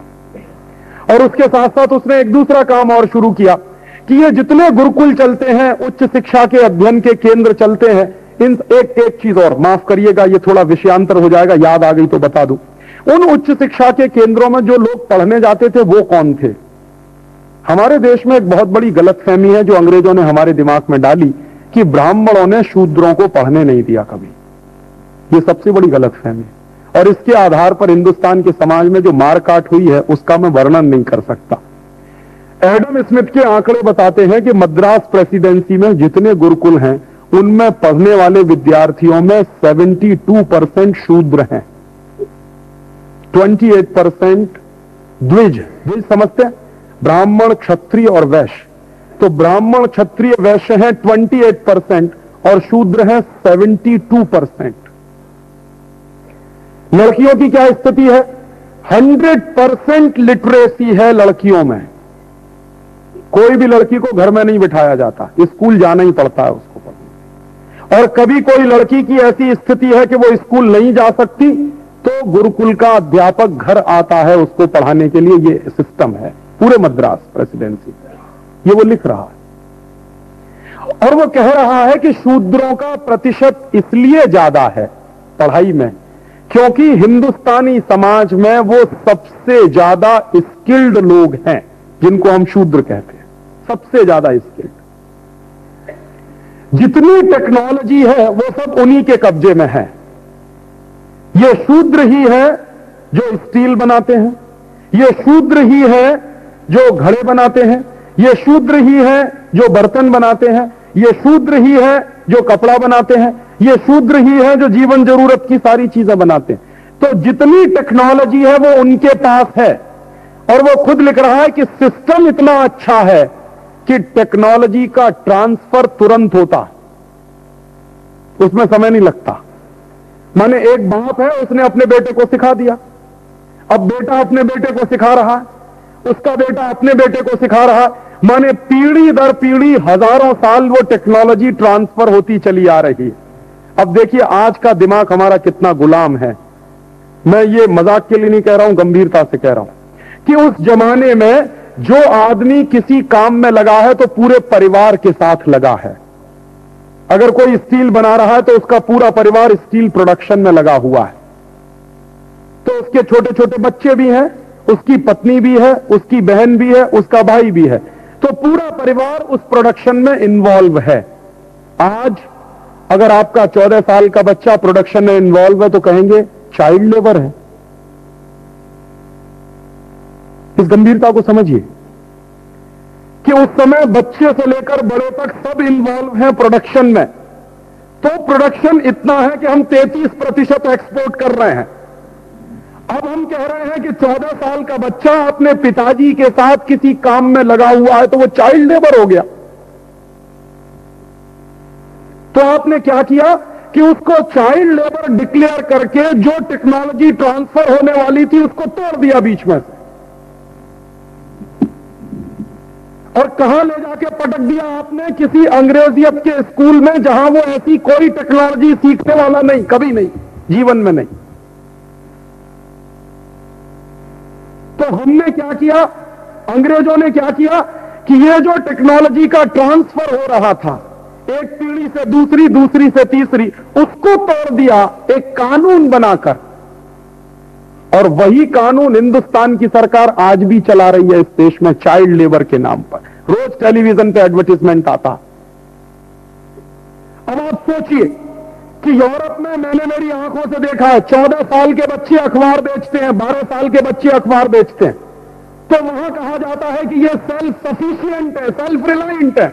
मेरे देश में चौदह साल का बच्चा काम करके रोटी कमा रहा है तो कहते चाइल्ड लेबर है। अमेरिका में तो आप कल्पना नहीं कर सकते कि कोई बच्चा बिना श्रम किए हुए पढ़ाई कर सकता, क्योंकि इतना महँगा है पूरा सिस्टम यूरोप में भी यही हालत है। मैंने मेरी आँखों से देखा, रेलवे स्टेशन पर अखबार बेच रहे हैं, फिर स्कूल जा रहे हैं फ़ीस की व्यवस्था कर रहे हैं। सफारी कर रहे हैं कार की। पैसा मिल रहा है, फिर स्कूल में पढ़ाई कर रहे हैं। तो वहाँ चाइल्ड लेबर जो है, अमेरिका में शायद सबसे ज़्यादा बच्चे हैं जो काम करते हैं फैक्ट्रियों के अंदर, अपनी पढ़ाई करने के लिए। तो उनको कहते हैं कि वो सेल्फ सफिशियंट है सेल्फ रिलायंट है। मेरे देश के बच्चे काम करें तो चाइल्ड लेबर है। अब सोचिए कि ये सरकार कितनी अंग्रेजियत वाली है। मैकौले भी ऐसे ही सोचता था, हमारी सरकार भी ऐसे ही सोचती है। और रोज आपको टेलीविज़न पर विज्ञापन ऐसे ही दिखाया जाता है कि आप अत्याचार कर रहे हैं अगर 14 साल के बच्चे से काम ले रहे हैं। वहाँ क्या है? 14 साल का बच्चा काम कर रहा है तो आत्मनिर्भर बन रहा है। मेरे देश में वो अत्याचार घोषित कर दिया है सरकार ने। ये है मानसिक गुलामी। ये है अंग्रेजियत की गुलामी। और ऐसे ही तोड़ा था उसने हमारे देश के गुरुकुलों से चलने वाले एजुकेशन सिस्टम को। और उस एजुकेशन सिस्टम को तोड़ने में जो सबसे बड़ी सफलता मिली मैकौले को, वो एक कानून के आधार पर मिली। उस कानून का नाम है इंडियन एजुकेशन एक्ट। उसके आधार पर उसने क्या किया? यूनिवर्सिटीज बनवाए। और उन यूनिवर्सिटीज को मान्यता दी गई। संस्कृत से चलने वाले गुरुकुलों की मान्यता खत्म की गई। और मान्यता खत्म हो गई सरकारी दस्तावेजों में, लेकिन समाज में मान्यता खत्म नहीं हुई। तो क्या किया? अध्यापकों को मार मार कर पीट पीट कर गुलाम बनाकर भेज दिया लंदन। आपको शायद मालूम नहीं है, अंग्रेज़ एक अत्याचार करते थे इंडेंजर्ड लेबर बनाते थे हिंदुस्तानी लोगों को। यहाँ से मजदूर बना के ले जाते थे, जिनको हम गुजराती में कहते थे गिरमिटिया मजदूर। गांधी जी सबसे पहला केस उन्हीं के लिए लड़ने गए थे गिरमिटिया मजदूरों के लिए। जो गिरमिटिया मजदूर यहाँ से गए हैं, वो पता है कौन लोग हैं? हिंदुस्तान के हाईली स्किल्ड पर्सन थे, जिनको गिरमिटिया मजदूर बना के ले गए। गिरमिटिया मजदूर यहाँ से गए हैं, वो पता है कौन लोग हैं? हिंदुस्तान के हाईली स्किल्ड पर्सन थे, जिनको गिरमिटिया मजदूर बना के ले गए। हिंदुस्तान के हाईली स्किल्ड लोगों को कैसे बर्बाद किया? या तो वो ले गए मजदूर बना के, और वहाँ जोत दिया उनको खेत में हल के साथ। खेत में जोता जाता था हल के साथ। गांधी जी जब देखने गए थे डरबन के आश्रम में तो उनको आश्चर्य हुआ था कि आदमी खेत में हल चलाता। ऐसे ही जैसे बैल के कंधे पे हल रखा होता। और दूसरा काम क्या किया था अंग्रेज़ों ने? कि हिंदुस्तान के हाईली स्किल्ड पर्सन को जो बनाते थे, इतना बेहतरीन कपड़ा कि एक छोटे से रिंग में से तार निकल जाता था, पूरा थान। ऐसे लोगों के हाथ काट दिए थे, अंगूठे काट दिए थे। यही सब किया था मैकौले ने, और मैकौले के पहले के अधिकारियों ने। ऐसे बर्बाद किया है इस देश को। और स्किल्ड पर्सन को बर्बाद करने के लिए उसने कानून बना के लागू करवा दिया और पूरा सिस्टम उसने सत्यानाश कर दिया। फिर भी क्या था? फिर भी इस देश में जो सच्चाई है वो ये थी कि उसने यूनिवर्सिटीज चलाए, चले नहीं। कॉन्वेंट स्कूल चलाए, चले नहीं। सबसे पहले कॉन्वेंट स्कूलों को कहा जाता था फ्री स्कूल्स चले नहीं, बंद हो गए। अंग्रेज़ों की सरकार ने हिंदुस्तान में कुछ साढ़े तीन सौ कॉन्वेंट स्कूल चलाने की कोशिश की, एक भी नहीं चला। थोड़े दिन चला, बंद हो गया। चला, फिर बंद हो गया। बाद में अंग्रेज़ों की सरकार ने क्या किया कि हिंदुस्तान के कॉन्वेंट स्कूलों को चलाने के लिए ज़रूरी है कि जो अंग्रेज़ों की नौकरी कर रहे हैं हिंदुस्तानी ईस्ट इंडिया कंपनी में, उनको अपने बच्चों को कंपलसरी कॉन्वेंट स्कूल में भेजना ही पड़ेगा। और एक दूसरा काम और किया उन्होंने कि कुछ हिंदुस्तानी एजेंटों को खड़ा किया जो अंग्रेज़ी सिस्टम को इस देश में लागू करवाएँ।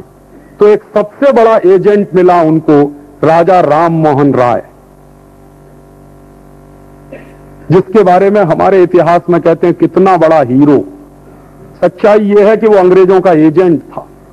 बहुत कम लोग जानते हैं और हमारे इतिहास की किताबों में बताया भी नहीं गया जानबूझकर। Raja Ram Mohan Roy British East India Company के कलकत्ता के ऑफ़िस में क्लर्क था। Simple clerk. उसको तैयार किया गया था कि तुमको हिंदुस्तान में अंग्रेज़ी का प्रचार करना। तो राजा राममोहन राय ने अपनी पूरी शक्ति लगा के अंग्रेज़ी का प्रचार करना शुरू किया था। कैसे शुरू किया? खुद राजा राममोहन राय ने ऐसा इडियट वेश धारण किया कि सिर पे पगड़ी और गले में टाई। हाँ। सिर पे है हिंदुस्तानी पगड़ी और गले में है टाई। और नीचे है धोती। ये ये ये, मैं उनके आपको तीन फोटोग्राफ्स दिखा सकता हूँ ऐसे। राजा राम मोहन राय के। कि गले में टाई, नीचे धोती, सिर पर पगड़ी। अब बताइए, इससे बड़ा इडियट कोई दूसरा मिल सकता है आपको? जिसके बारे में हिंदुस्तानी इतिहास में पता नहीं क्या क्या कसीदे पढ़े गए क्या क्या उसके बारे में नहीं लिखा गया। तो वो राजा राममोहन राय क्या करता था? ईस्ट इंडिया कंपनी से तनख्वाह मिलती थी। गाँव गाँव गली गली घूमता था। बच्चों के माँ बाप को यह समझाने का काम करता था कि अपने बच्चों को कॉन्वेंट में भेजिए। एक बार का किस्सा है। वो किस्सा पता नहीं मेरी किसी कैसेट में होगा तो ज़रूर सुनिए। किस्सा यह है कि कलकत्ता के पास किसी गाँव में ये घूम रहे हैं राजा राममोहन राय। और एक गाँव में जाते हैं, गाँव के लोगों की मीटिंग बुलाते हैं और कहते हैं कि अपने बच्चों को कॉन्वेंट स्कूल में भेजो। तो गाँव का एक साधारण किसान है, वो पूछता, क्यों भेजें? हमारे गाँव में तो गुरुकुल चलता है। तो वो कहता है कि तुम्हारे गुरुकुल में बच्चे अच्छे नहीं बनेंगे, कॉन्वेंट में अच्छे बनेंगे। तो किसान पूछ रहा है कि अच्छा कैसे होगा मेरा बच्चा? तो बेचारा राजा राममोहन राय पचास तर्क दे रहा है, उस किसान के समझ में नहीं आ रहा। अचानक से राजा राममोहन राय एक बात कहता है कि देखो, तुम्हारा बच्चा कॉन्वेंट में जाएगा तो टाई लगाएगा। तो वो पूछता कि ये टाई क्या होती है? अब उस किसान को क्या मालूम बेचारे को कि टाई क्या होती उसने ज़िंदगी में कभी देखी नहीं। तो राजा राम मोहन राय अपने बैग से निकालकर बाँध के दिखाता है, गले में लगा के तो वो कहता है कि मेरा बच्चा ठीक है, ये टाई लगाएगा। लेकिन इसका करेगा क्या? क्यों लगाए ये टाई? उसका क्या करे? उसको ज़रूरत क्या है इसकी?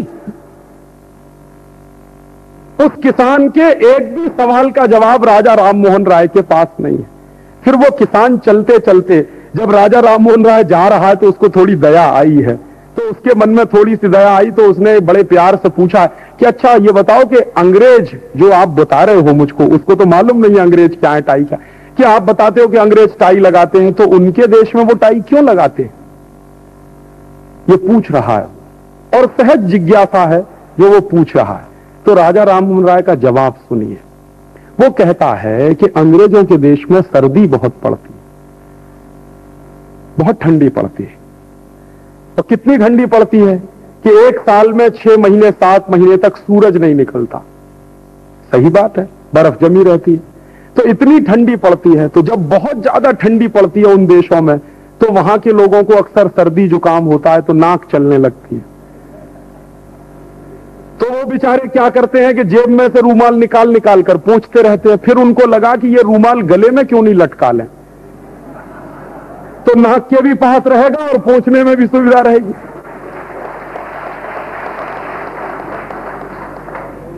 यह जवाब है राजा राममोहन राय का। अब वो किसान पूछता है बहुत स्वाभाविक तरीके से कि मान लिया कि अंग्रेज़ों के देश में ठंडी पड़ती है, उनको सर्दी जुकाम होता रहता है, लेकिन मेरे देश में तो नहीं पड़ती ठंडी, मैं क्यों लगाऊँ ये? और मैं यही कहता हूँ कि वो किसान हमसे ज़्यादा बुद्धिमान था। जो किसी कॉन्वेंट में नहीं पढ़ा था।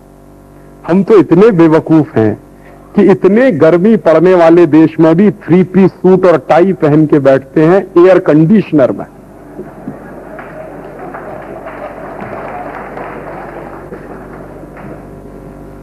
क्या मतलब है उसका हमको खुद नहीं मालूम कि क्या मतलब है इसका। अंग्रेज़ लगाते हैं तो लगाने दीजिए, यूरोप के लोग लगाते हैं, लगाने दीजिए, अमेरिका के लोग लगाते हैं, लगाने दीजिए, हम क्या कर रहे हैं उसका? तो इस तरह के कुछ किस्से हैं और राजा राममोहन राय बेचारे असफल होकर चले आए हैं। और मैं कहना यह चाहता हूँ कि अंग्रेज़ पूरी ताकत लगाने के बाद भी एक स्कूल नहीं चला पाए इस देश में, कॉन्वेंट का। नहीं चल पाया। बंद हुआ। तीन सौ, साढ़े तीन सौ स्कूल खोले और वो बाद में बंद हो गए। क्योंकि कोई भी माँ बाप अपने बच्चों को कॉन्वेंट में भेजने को तैयार नहीं है। क्यों? हर माँ बाप को उसके बच्चे के लिए गुरुकुल मिला हुआ है तो उसको ज़रूरत ही नहीं है कॉन्वेंट में भेजने की। अब क्या हो गया है? अंग्रेज़ चले गए। आज़ादी आ गई। और मैं अक्सर लोगों से एक ही बात कहता हूँ कि अंग्रेज़ तो चले गए, लेकिन अंग्रेज़ों की आत्मा हम सब में प्रवेश कर गई है। कैसे प्रवेश कर गई है कि जो कॉन्वेंट स्कूल चले नहीं अंग्रेज़ों के जमाने में, वो कॉन्वेंट स्कूल आज गाँव गाँव गली गली घर घर खुल गए हैं। दो कमरे का घर है, उसमें कॉन्वेंट स्कूल खोल के रखा हुआ। और कैसे कैसे कॉन्वेंट स्कूल है इस देश में? बंबई में एक कॉन्वेंट स्कूल मैंने देखा है, उसका नाम है बजरंग बली कॉन्वेंट स्कूल।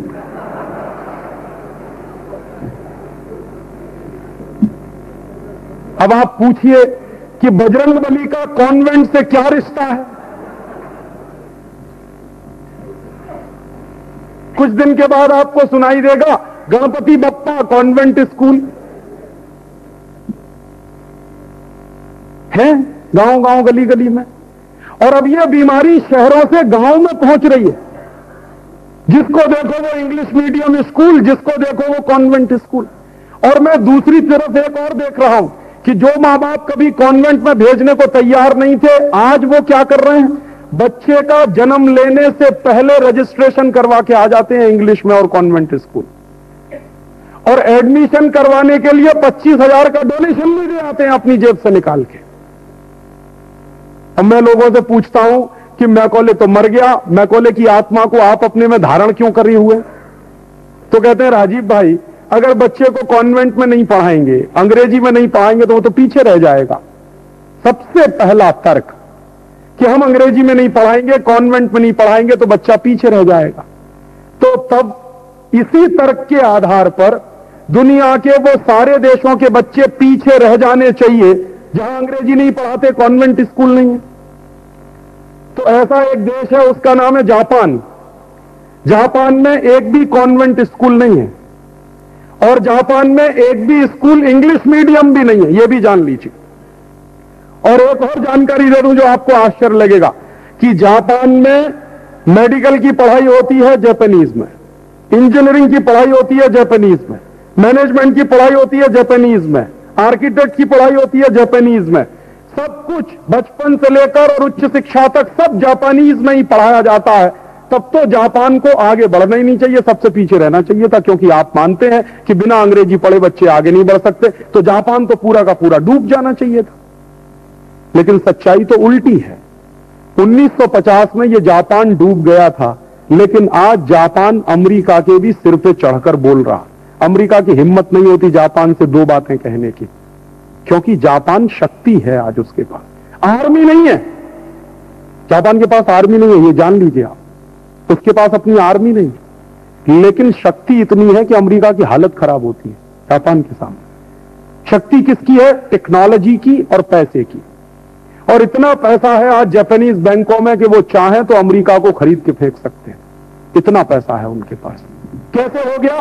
बिना अंग्रेज़ी के, बिना कॉन्वेंट के इतने आगे बढ़ गया जापान तो आप क्यों बेवकूफ़ी कर रहे हैं कि आपके बच्चे पीछे रह जाएँगे दूसरा ही एक देश है फ्रांस। 1945 के सेकेंड वर्ल्ड वॉर में फ्रांस बर्बाद हो गया था।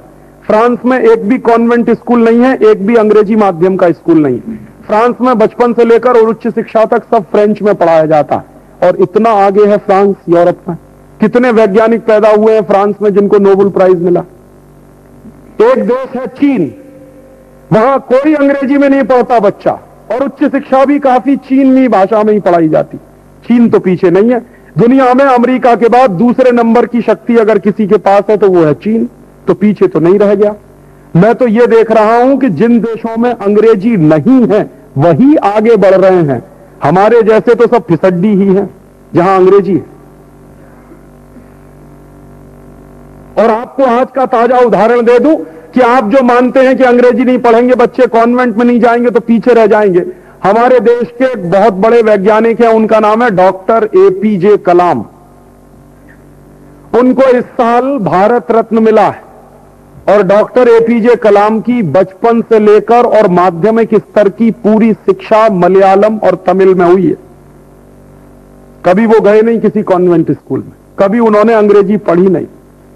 और जो बच्चा बचपन से लेकर और इतनी ऊँची शिक्षा तक अपनी मातृभाषा में पढ़कर आया, वो हिंदुस्तान का सबसे बड़ा वैज्ञानिक है इस समय। उस आदमी के दिमाग की वो देखिए, कितना दिमाग है उसके पास। एक जमाने में हमारे पास मिसाइल नहीं थी 200 किलोमीटर की मार करने वाली। आज हमारे पास 5000 किलोमीटर की मार करने वाली मिसाइल है। उसी आदमी की बुद्धि का नतीजा है ये। हिंदुस्तान जैसे राष्ट्र को उसने अमेरिका के समकक्ष बना दिया है मिसाइल की टेक्नोलॉजी में। एक भी देश ने हमको मिसाइल बनाने की टेक्नोलॉजी नहीं दी।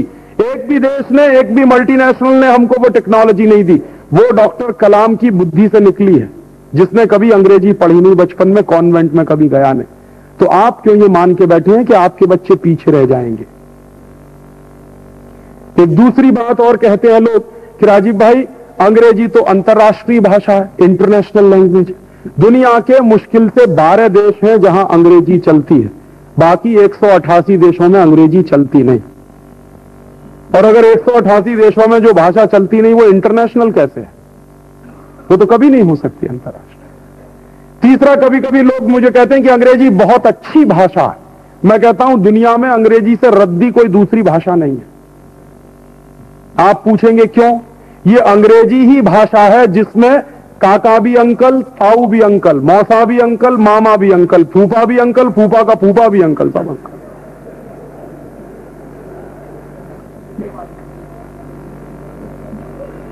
और ये अंग्रेज़ी ही है जिसमें काकी भी आंटी, मौसी भी आंटी, मामी भी आंटी, फूफी भी आंटी, सब आंटी।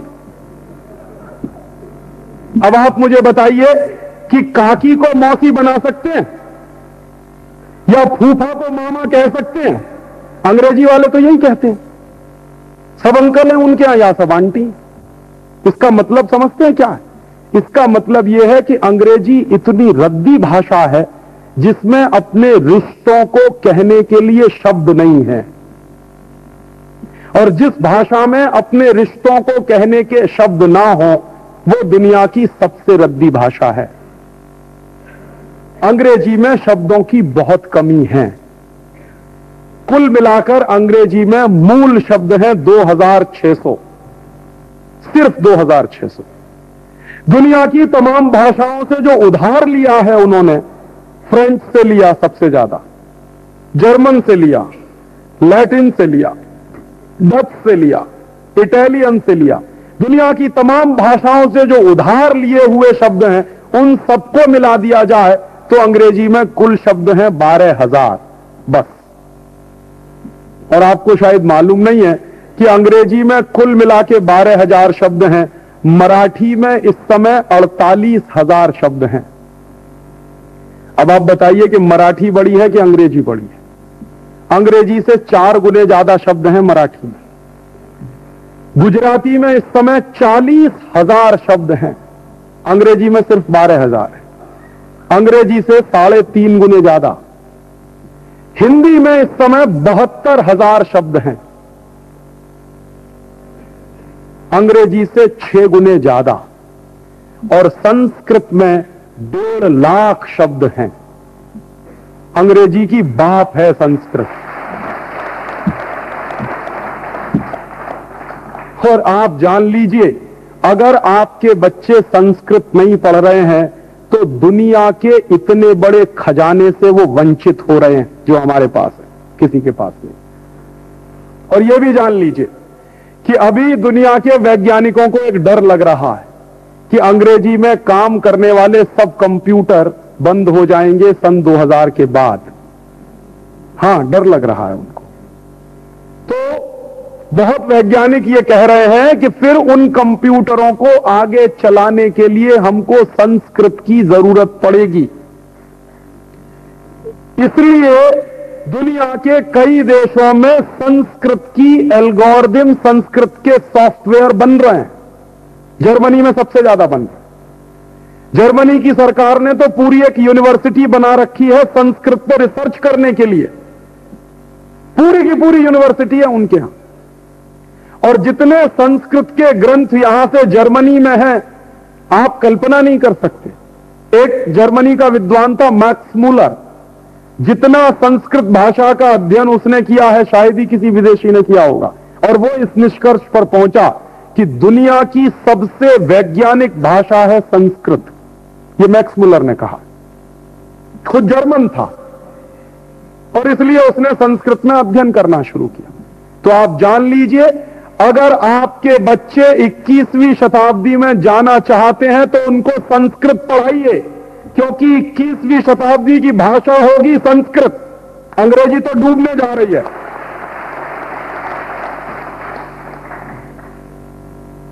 और अंग्रेज़ी इसलिए भी डूबने जा रही है कि जिन देशों की भाषा है अंग्रेज़ी, वो देश डूबने जा रहे हैं। सबसे बड़ा देश है अंग्रेज़ी वाला इंग्लैंड। यूनाइटेड किंगडम या ब्रिटेन। ब्रिटेन डूबने जा रहा है। कैसे? ब्रिटेन में इस समय इतनी भयंकर क्राइसिस है कि पीने का पानी नहीं है।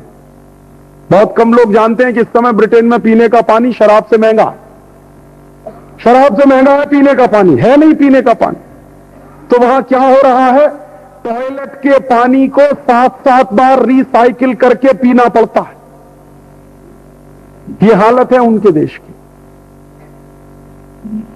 और वहाँ के वैज्ञानिकों में आजकल एक बहस छिड़ी हुई है कि हमारे पास अरबों डॉलर है और उस अरबों डॉलर से हम कोई ऐसी टेक्नोलॉजी क्यों नहीं बना पाए आज तक के समुद्र के पानी को मीठा बना दे।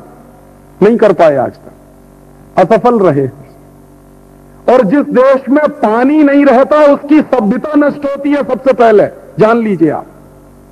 दुनिया की वो सारी सभ्यताएँ नष्ट हुई हैं जहाँ पानी नहीं रहा। हिंदुस्तान के बारे में कहते हैं कि कुछ बात है कि हस्ती मिट्टी नहीं हमारी। हमारे यहाँ पानी रहा, इसलिए हस्ती हमारी है। और हिंदुस्तान की पूरी की पूरी सभ्यता, पानी पर टिकी हुई सभ्यता, माने नदियों के किनारे विकसित हुई है। हिंदुस्तान की पूरी की पूरी सभ्यता नदियों के किनारे विकसित होने वाली सभ्यता। और हिंदुस्तान के हर वो शहर बड़े माने जाते हैं जो किसी नदी के किनारे हैं। प्रयागराज, नासिक कोई भी शहर ले लीजिए, जो हिंदुस्तान के पुराने ग्रंथों में महत्वपूर्ण माना जाता है, बनारस, काशी, सब नदियों के किनारे विकसित हुए शहर, हरिद्वार, ऋषिकेश, कोई भी नाम ले लीजिए। तो हिंदुस्तानी सभ्यता तो ये बड़ी सभ्यता इसलिए है कि नदियों के किनारे विकसित हुई है, माने पानी रहा है पानी के किनारे। अब ब्रिटेन में पानी ही खत्म हो गया, ग्राउंड वाटर खत्म हो गया। और चूँकि ग्राउंड वाटर खत्म हो गया, इसलिए टॉयलेट के पानी को इस्तेमाल करना पड़ता है रिसाइकिल करके। ऐसे हालत हैं उनके, डूबने जा रहे हैं वो। और एक दूसरी बात मैं अमेरिका के बारे में भी कह रहा हूँ। अगले दो तीन साल में मैं ऐसा कहता हूँ कि नेचुरल करेक्शन ईयर शुरू होने जा रहा है। इस बात को समझिए, कुछ गंभीर सी बात है। प्रकृति पर इतना अत्याचार किया है अमेरिका वालों ने यूरोप वालों ने कि प्रकृति अब इनको सबक सिखाने जा रही है। और इसका डर उनको लग रहा है। क्या डर लग रहा है? अभी कुछ दिन पहले जापान में एक सम्मेलन हुआ था, एक दिसंबर से लेकर दस दिसंबर तक। वो शहर का नाम है क्योटो। क्योटो में दुनिया भर के हज़ारों वैज्ञानिक इकट्ठे हुए और अंग्रेज़ी वाले देशों के सबसे ज़्यादा वैज्ञानिक थे। क्या चिंता करने के लिए कि हम सब मरने वाले हैं? ये कह रहे थे। कैसे मरने वाले हैं? इन देशों ने प्रकृति पर क्या अत्याचार किए हैं? इन्होंने अपने सभ्यता के लिए, अपने को स्मार्ट बनाने के लिए, अपने को ज़्यादा प्रोग्रेसिव बनाने के लिए सबसे ज़्यादा सत्यानाश किया है जंगलों का। और जंगल इन्होंने क्यों काटे हैं? टॉयलेट पेपर बनाने के लिए। आप इस बात की गंभीरता को समझिए कि हम हिंदुस्तानी कितने ऊँचे हैं और यूरोप अमेरिका वाले कितने नीचे हैं। हम कभी भी टॉयलेट में पेपर इस्तेमाल नहीं करते। हमारे यहाँ तो पानी इस्तेमाल करने की परंपरा है। उनके यहाँ हमेशा टॉयलेट में पेपर ही इस्तेमाल होता है। और टॉयलेट का पेपर इस्तेमाल करने के लिए हज़ारों हेक्टेयर जंगल बर्बाद कर दिए उन्होंने। सिर्फ़ इस बात के लिए। अब उनको अंदाज़ा है कि हमने सत्यानाश किया है अपना।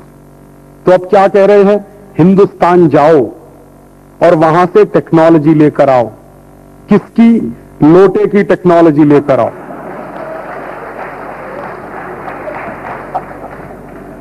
इसको आप मज़ाक में मत लीजिए, ये मैं बहुत गंभीर बात आपसे कह रहा हूँ। ये हमारा ही देश है, जो हमारे पास वो टेक्नोलॉजी है। उनके पास नहीं है। वो जानते ही नहीं कि पानी का क्या इस्तेमाल करते हैं टॉयलेट में, वो जानते नहीं। उनकी प्रॉब्लम है ये।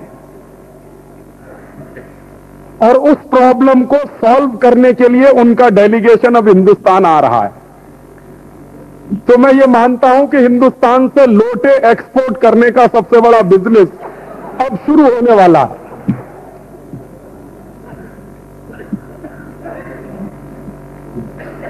ऐसी एक दूसरी प्रॉब्लम है उनके यहाँ। उन्होंने क्या किया कि तरक्की के नाम पर डेवलपमेंट के नाम पर एयर कंडीशनर बनाए रेफ्रिजरेटर्स बनाए सेंट्रल एयर कंडीशनिंग सिस्टम बनाया और तमाम उल्टे सीधे काम किए। अब उससे क्या हुआ? क्लोरोफ्लोरोकार्बन गैसेस निकले, जिसने प्रदूषण किया पर्यावरण में। और प्रदूषण इतना हो गया है पर्यावरण में उनके यहाँ कि ओजोन में डिप्लीशन होना शुरू हो गया। अब ओजोन में अगर डिप्लीशन होगा तो अल्ट्रा वायलेट रेजेस आएँगे जिनका टेम्परेचर ज़्यादा होगा। अब वहाँ खतरा जानते हैं क्या हो गया? खतरा यह हो गया है कि पहले ही टेम्परेचर बहुत बढ़ गया पिछले 10-15 सालों में। अब अगर और थोड़ा सा टेम्परेचर बढ़ा दो तीन डिग्री सेंटीग्रेड तो क्या होगा? नॉर्थ पोल पर जो बर्फ़ है, वो पिघलना शुरू होगी। और वो बर्फ़ अगर पिघलेगी और one metre water level increase किया समुद्र में तो सबसे पहले कैलिफ़ोर्निया और न्यूयॉर्क डूबेगा उसमें। ये जान लीजिए आप। इसलिए उनके हाथ काँप रहे हैं आजकल। कह रहे हैं कि अब बचने के लिए कोई रास्ता बताओ। न्यूयॉर्क डूबेगा कैलिफ़ोर्निया डूबेगा। लेकिन मुझे जो दूसरा दुख है और डर है वो ये कि अत्याचार किया है इन्होंने, और उसमें बेचारे मारे जाएँगे कई गरीब देश। अगर अमेरिका का कैलिफ़ोर्निया और न्यूयॉर्क डूबा तो बांग्लादेश भी डूब जाएगा, श्रीलंका भी डूब सकता। ऐसे सत्तर अस्सी देश हैं, गरीब जिन्होंने कुछ नहीं किया, बेचारे एकदम इनोसेंट हैं। वो डूबेंगे क्योंकि ये अमरीकी और यूरोपीय लोगों ने अत्याचार किया है प्रकृति के ऊपर। और मैं तो मानता हूँ कि प्रकृति के ऊपर तुम अत्याचार करो, उसकी एक लिमिट है। उस लिमिट के बाद प्रकृति खुद बदला ले लेती है इसी को मैं कहता हूँ कि अगले दो साल के बाद नेचुरल करेक्शन ईयर शुरू होने जा रहा। और इसमें क्या होगा? आप देखेंगे भयंकर बाढ़ें आएँगी। आप देखेंगे भयंकर तूफ़ान आएँगे। आप देखेंगे कि भयंकर टेक्टोनिक डेवलपमेंट होंगे, भूकंप आएँगे। और ऐसे ऐसे काम होंगे जिनको आप कल्पना नहीं कर सकते। और हो सकता है अमेरिका, यूरोप की एक तिहाई आबादी उसमें खत्म हो जाए। ये इतना बड़ा खतरा पैदा हो गया। इसके लिए वो मिले थे अभी क्योटो में कि क्या करें अब। तो उनमें जितने वैज्ञानिक थे, नोबल लॉरियट जो आए, उनमें से सबने एक ही बात कही कि हमने तो सत्यानाश कर लिया अपना। अब दुनिया में एक ही देश है जो हमको दिशा दे सकता है। वो है हिंदुस्तान। तो एक वैज्ञानिक ने पता है क्या कहा? वो संस्कृत जानता। उसने कहा कि हिंदुस्तान से दिशा मिलेगी। क्यों? तो उसने एक श्लोक पढ़ के सुनाया, जिसको मैं अक्सर हर जगह कहता हूँ, कि हिंदुस्तान ही है जहाँ पर ये फिलॉसफी है। ईशावास्यम इदम सर्वम, यत्किंच जगत्याम जगत। तेन त्यक्तेन भुंजी था माँ वृदय कस्य सिद्धनम। माने जो कुछ इस चराचर जगत में है, वो सब त्याग पूर्वक भोग करने के लिए है। माने लिमिटलेस कंजम्पशन नहीं कर सकते। कंजम्पशन को लिमिटेड करना पड़ेगा। उपभोग को कम करना पड़ेगा। और वो कहते हैं कि ये सीखना हो तो हिंदुस्तान जाना पड़ेगा। अब आप देखिए कि तरक्की क्या है और बर्बादी क्या है। हमने माना कि तरक्की वो है जो अमेरिका कर रहा है, यूरोप कर रहा है। और अब हम देख रहे हैं कि बर्बादी के कगार पर वो पहुँच गए तरक्की का माने ये होता है कि आप अपने जीवन में चीज़ों का कितना कम से कम इस्तेमाल करते ये है तरक्की। और बर्बादी क्या है? आप जीवन में अपनी ज़रूरत से ज़्यादा जितना इस्तेमाल करते हैं, वो है बर्बादी। अब देखिए, हमारी सिस्टम कितनी वैज्ञानिक रही है। हमारे यहाँ कुएँ होते थे। कुएँ होते थे, कुएँ पर वो लगाई जाती थी। पुली। तो नहाना होता था तो कुएँ में बाल्टी डालनी पड़ती थी और बाल्टी से पानी खींचना पड़ता था तो उसमें श्रम लगता था। तो जब हम एक बाल्टी पानी खींचते थे तो हमको एक बाल्टी पानी का दर्द पता होता था कि एक बाल्टी पानी कैसे निकाला जाता। अब विदेशी टेक्नोलॉजी आई, उसने हमारे घर में नल लगा दिया। तो भल भल भल भल पानी बहता ही रहता है, हमको दर्द ही नहीं है कि हम क्या कर रहे हैं। जब कुएँ से पानी खींचना पड़ता था तो मांसपेशियों में दर्द होता था तो एक बाल्टी पानी में नहा लेते थे। अब हमको पाँच पाँच बाल्टी चाहिए, क्योंकि दर्द नहीं है हमको, कि पानी आता कहाँ से है। ये थी हिंदुस्तानी समाज की व्यवस्था, जिसमें संयम की बात कही जाती थी। और इस समाज में जो जितना संयमी है, वो उतना ही ऊँचा है। हमारे समाज में तो महान कौन रहा और ऊँचा कौन माना गया जिसने शहीदी ओढ़ी या फकीरी ओढ़ी, वो महान है इस देश में। देख लीजिए आप उदाहरण उठा के। भगवान राम जब तक राजकुमार हैं, महल में रहते हैं, कोई नहीं जानता। महल त्यागा, फकीरी ओढ़ी और चौदह साल के लिए वन में चले गए तो मर्यादा पुरुषोत्तम हो गए। हम पूजा मर्यादा पुरुषोत्तम की करते हैं, राजकुमार राम की पूजा नहीं होती इस देश में। महावीर स्वामी, जब राजकुमार हैं, महल में रहते हैं, कोई नहीं जानता। त्याग करने के लिए निकल गए जंगल में, और तपस्या की भयंकर, छोड़ दिया जीवन का सारा मोह, और त्याग दिया सब कुछ तो तीर्थांकर हो गए। हम तीर्थांकर महावीर स्वामी की पूजा करते हैं, ना कि राजकुमार महावीर स्वामी की। महात्मा बुद्ध राजकुमार हैं, महल में रहते हैं, कोई नहीं जानता। महल छोड़कर तपस्या के रास्ते पर चले गए तो महात्मा हो गए, उनकी पूजा होती है।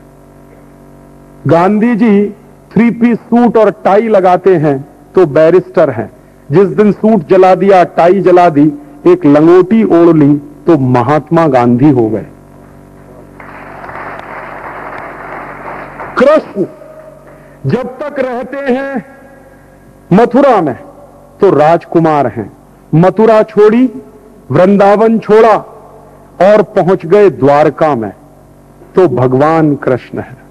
हम पूजा किसकी करते हैं? किसको अपना बड़ा मानते हैं?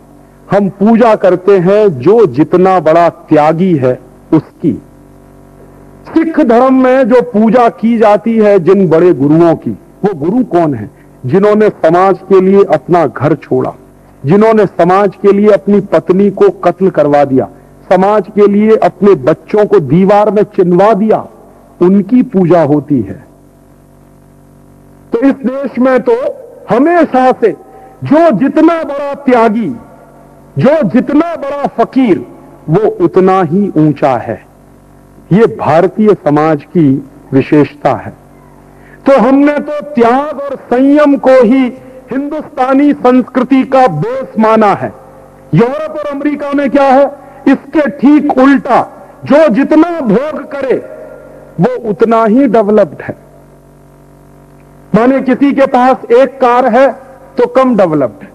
दो हो जाए तो ज़्यादा है, तीन हो जाए और ज़्यादा चार हो जाए और ज़्यादा और दस बारह पचास हो जाए तो बिलियनर है। यहाँ तो जिसने छोड़ा है, वो भगवान है। वहाँ तो जो भोग रहा है, उसको कहते हैं कि वो। और आप देखिए, जीवन का आनंद भोगने में नहीं है, त्यागने में है। ये गंभीर बात आप समझ लीजिए तो जीवन आपका हमेशा खुशी रहेगा। जीवन के कोई भी क्षण को अनुभव करिए।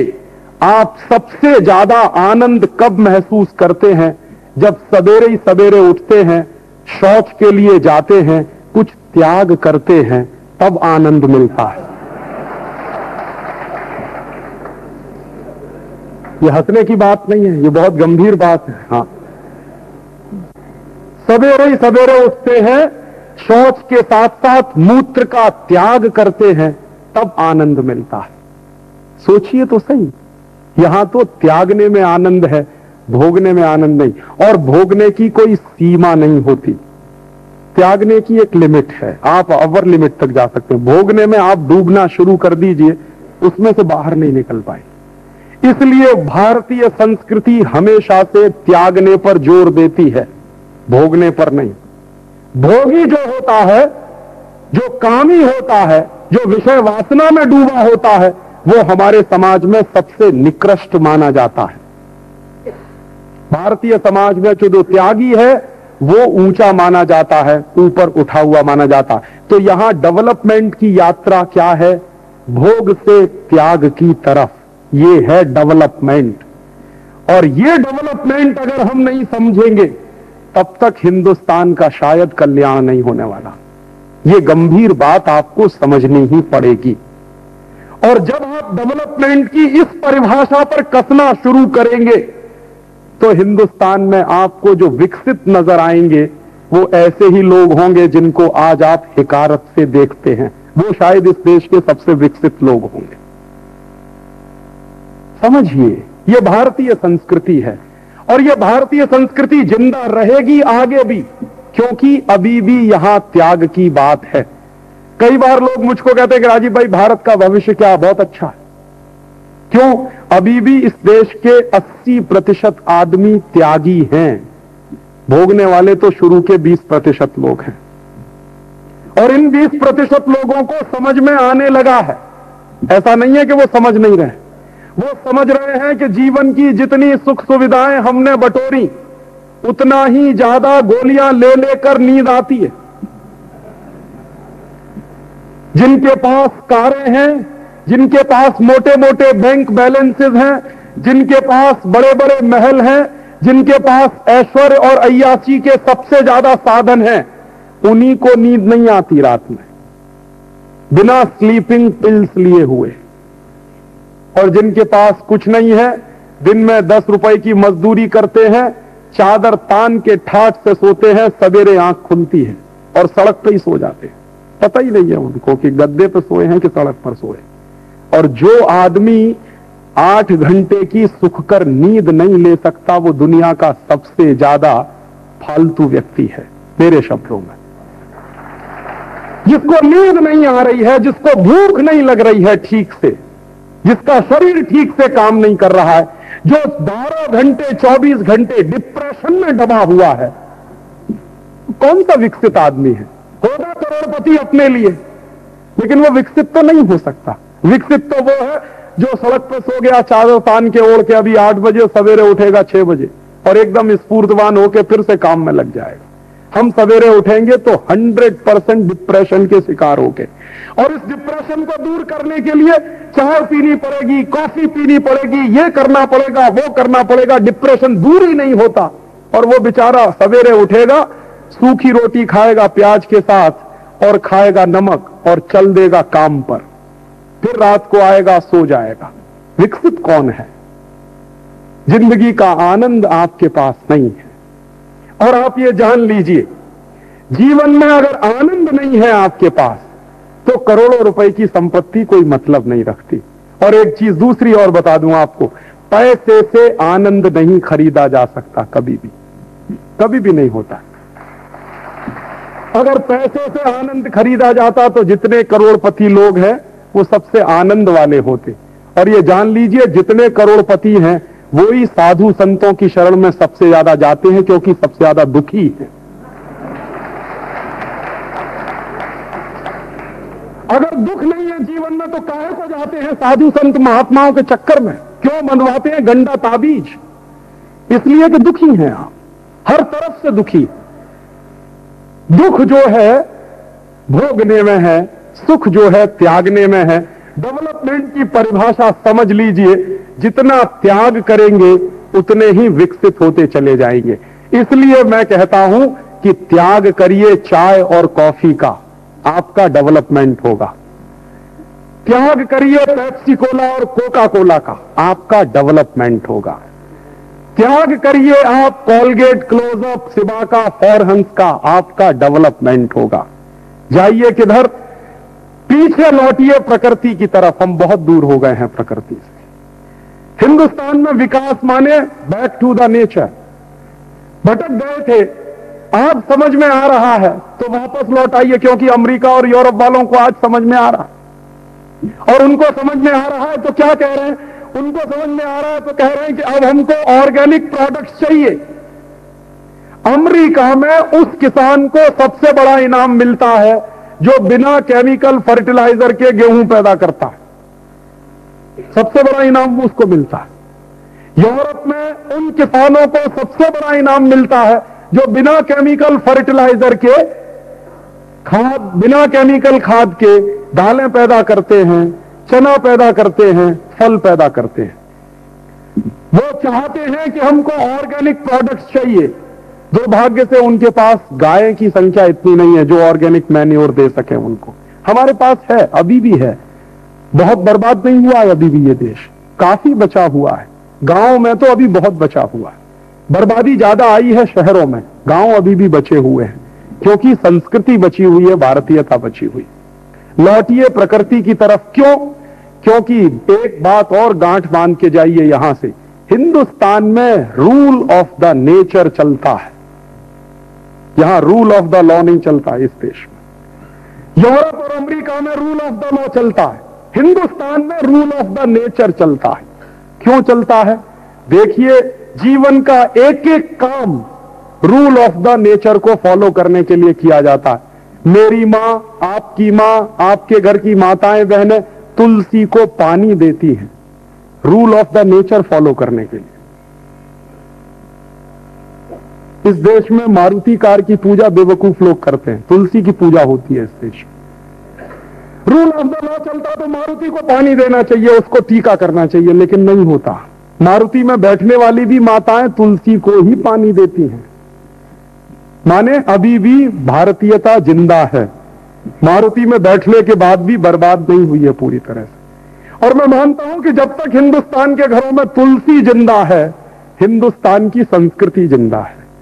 जिस दिन वो चली जाएगी घर में से निकल के, उस दिन ये संस्कृति पे संकट आ जाएगा। तो भारतीय संस्कृति रूल ऑफ़ द नेचर पर चलती है। हम प्रकृति के अनुरूप चलते हैं। हमारे यहाँ प्रकृति के खिलाफ चलना पाप माना जाता है। हिंदुस्तान में चींटी को मारना पाप है। जानते हैं क्यों? क्योंकि प्रकृति में चींटी का एक महत्वपूर्ण स्थान है और उसको मारना नहीं चाहिए, नहीं तो वो बैलेंस टूट जाता है। इसलिए चींटी को आटा डालना पड़ता है। मारते नहीं उसको। चींटी को मारना पाप है। क्योंकि संस्कृति टूटती है। यहाँ संस्कृति पता है किससे बनती है? हिंदुस्तान में संस्कृति बनी है प्रकृति से। अगर प्रकृति नहीं रहेगी तो संस्कृति टूटेगी। तो इसलिए जीवन के जितने काम इस देश में किए जाते हैं, सब प्रकृति के अनुरूप किए जाते हैं। प्रकृति के विरुद्ध जाके कुछ भी नहीं हो सकता इस देश में।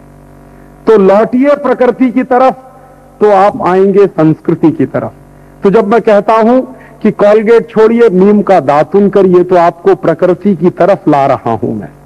स्वदेशी तो बना ही रहा हूँ, आपको प्रकृति की तरफ़ ला रहा हूँ। जो टूट गया है रिश्ता प्रकृति से, उसको मैं वापस जोड़ने की कोशिश कर रहा हूँ। आपसे जब मैं कहता हूँ कि शैम्पू इस्तेमाल मत करिए, साबुन इस्तेमाल मत करिए, आंवला ले लीजिए, अरीठा ले लीजिए शीकाकाई लीजिए, ये सब प्रकृति के दिए हुए उपहार हैं। जब आप इनको प्रकृति से लेंगे तो प्रकृति से आपका प्रेम बढ़ेगा।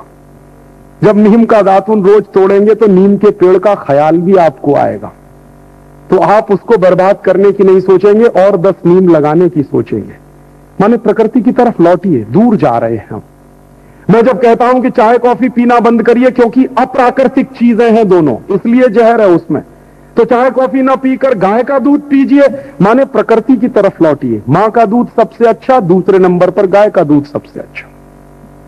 तो गाय के दूध को पीने के लिए लौटेंगे तो प्रकृति की तरफ़ लौटेंगे। और जब गाय का दूध पीना शुरू करेंगे तो आपको चिंता भी रहेगी कि गाय बचनी चाहिए। फिर हो सकता है एक दिन आप मारुति कार बेचकर चाहे और गाय खरीद लाए। और जिस दिन आप मारुति कार बेचकर चार गाय खरीद लाएँगे, उस दिन मैं आपके घर आऊँगा ये कहने के लिए कि सच में आपका डेवलपमेंट हो गया है। क्योंकि मारुति घर में खड़ी कर लेंगे, उसमें डालेंगे पेट्रोल, और पेट्रोल से निकलेगा धुआँ, और वो धुआँ घुसेगा फेफड़ों में, और मर जाएँगे एक दिन। आप लोग किस बेवकूफ़ी में फंसे हैं? क्वालिटी ऑफ़ लाइफ की बात करिए क्वालिटी ऑफ़ प्रोडक्ट बेवकूफ़ी की बातें ये बहुत गंभीर बात है जो मैं कह रहा हूँ। क्वालिटी ऑफ़ लाइफ जीवन का मूल्य, जीवन की गुणवत्ता, जीवन में उत्तमता, इसको समझिए। क्वालिटी ऑफ़ लाइफ में ज़िंदा रहने की कोशिश करिए। क्वालिटी ऑफ़ प्रोडक्ट जो है, वो आपको कोई दिशा देने वाला नहीं। इसलिए स्वदेशी बनिए माने प्रकृति की तरफ़ लौटिए। स्वदेशी बनिए माने भारतीयता की तरफ़ लौटिए। ये जो टूट गया है रिश्ता पिछले 500 साल में अंग्रेज़ों के आने के कारण, उस टूटे हुए रिश्ते को जोड़ने के लिए मैं एक पुल का काम कर रहा हूँ। बस इतनी भूमिका है, इससे ज़्यादा कोई भूमिका नहीं।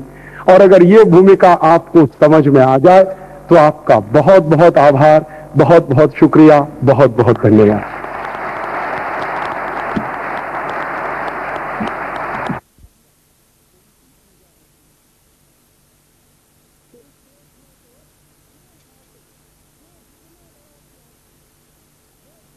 बड़ा फकीर, वो उतना ही ऊँचा है।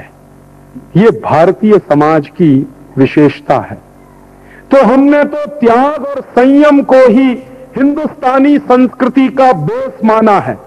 यूरोप और अमेरिका में क्या है?